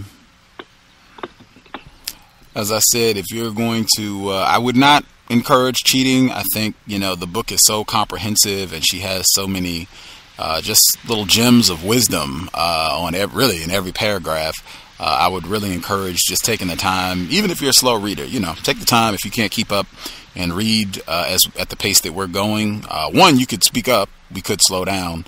Uh, or you know you could just take your own time and read it but if it takes two months three months whatever i would invest the time to read the entire book cover to cover because it is very helpful. Uh, and as our caller said, uh, check out the diagrams as well. If you're feeling, if you're reading a section or a chapter, whatever, and you're feeling a little confused, uh, refer to the diagrams in the front of the book. They're there for a reason. Uh, they will help you, I think, grasp the concept. She also has a glossary in the front, too, uh, where she defines some of the different terms that she uses. Uh, so check that out as well. Uh, I would also encourage folks to visit the uh, footnote section so you can get some of the citations where she's getting that information from. I thought it was wild that uh, that quote from Dr. Welsing was in Essence magazine. I cannot fathom going to pick up Essence magazine or any other popular uh, news item uh, that you can get at the grocery store and having an interview with Dr. Frances Cress Welsing. Like that is uh, like wow, must have been a different time. I think that that Essence interview was in 1971, if I remember correctly. Um, different uh, time on the plantation because I can't see that sort of thing going down now. Um, at any rate, we're about at the three-hour mark. Anybody have anything they wanted to get in before we uh, wrap up? No comment.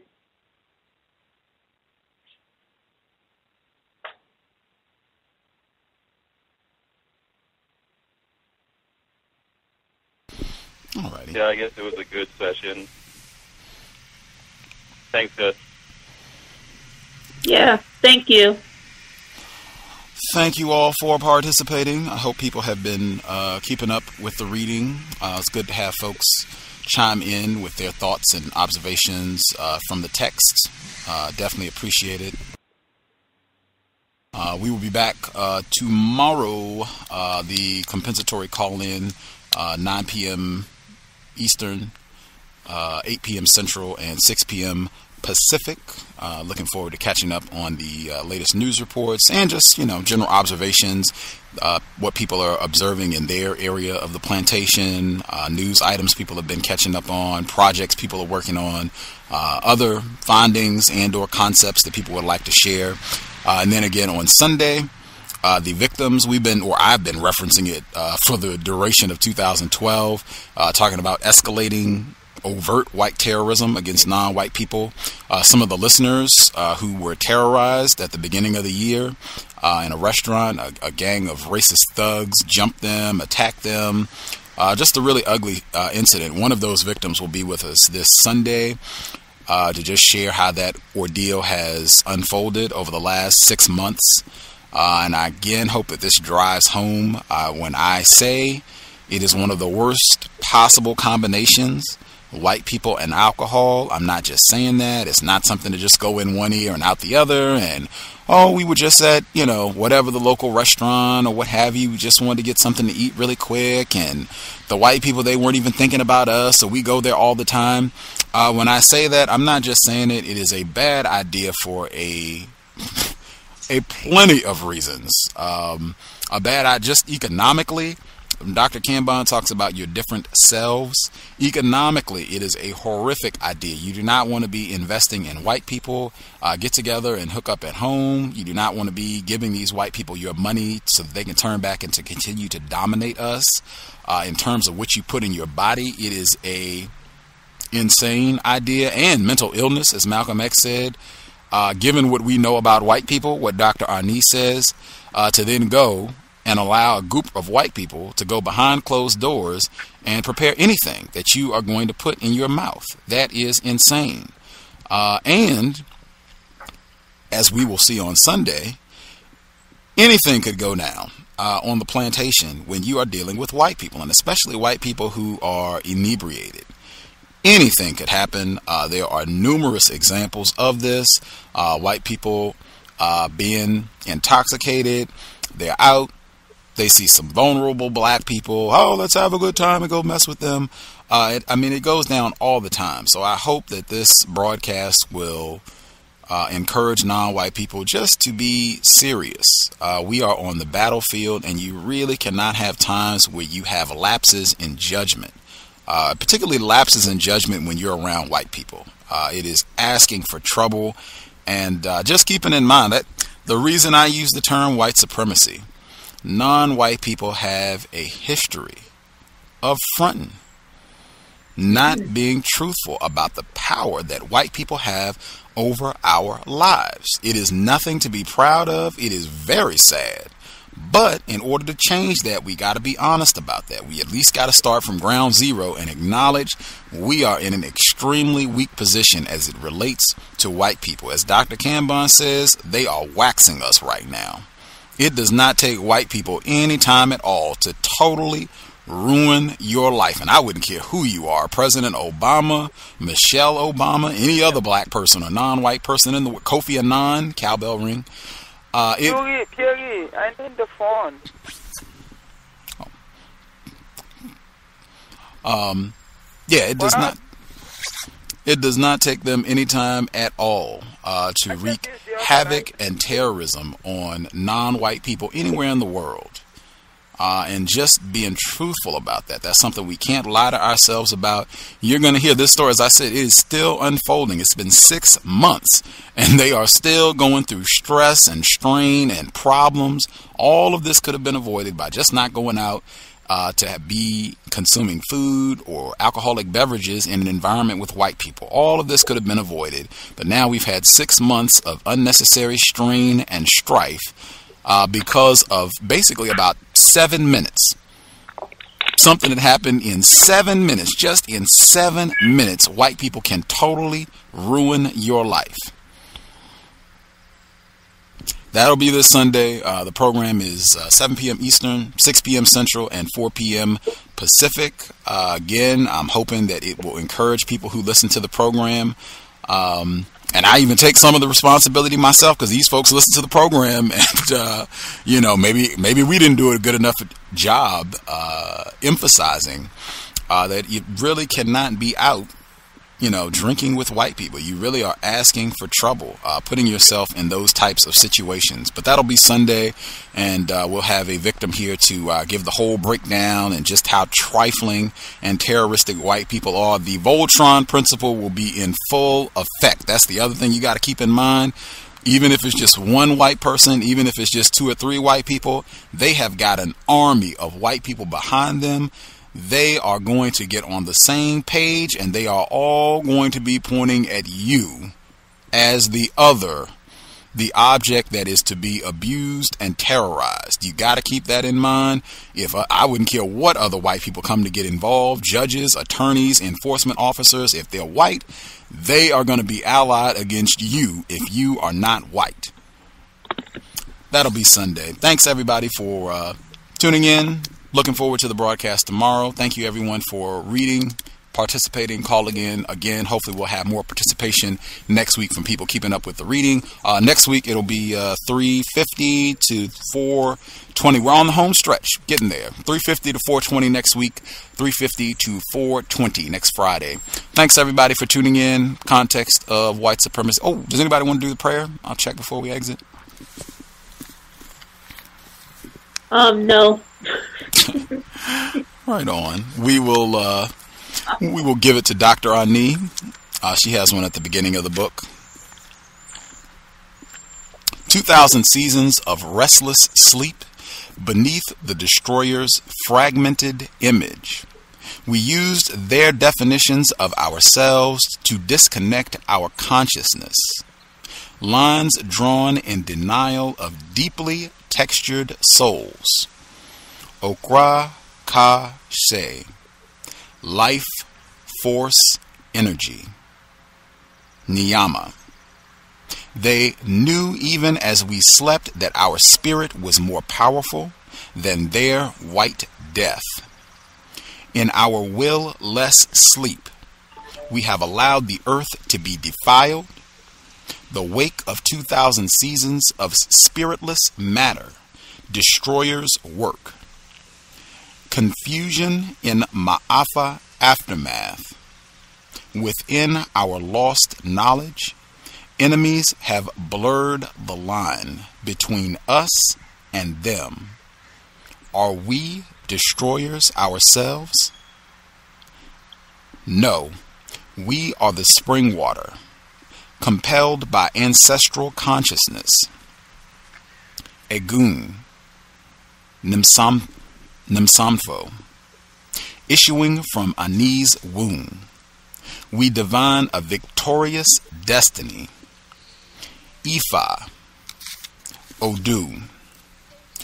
We are awakening. Announcing ourselves self determining with Nubian will. Crystal vision. Shaping a new reality. Ancient Genius Rediscovered. So Dai, the clear word. Balancing the scales, restoring spirit to matter, the whole completed made cosmic again. Rhythm is the key to the way, alternating death with life, joining us to each other. We are the healers, the victory is ours. We call upon Onyame, Olodumare, and Ama, invoking the Nommo power of blackness, carried in the genes of race memory. Hase, ancestors and children to be born, keys to the circles of connectedness and clarity. Africa redeemed. The universe in harmony, return and move forward to the way of a natural order, African world order, resplendent reflection of Ma'at. Ashe. We will be back tomorrow. Context of white supremacy signing out.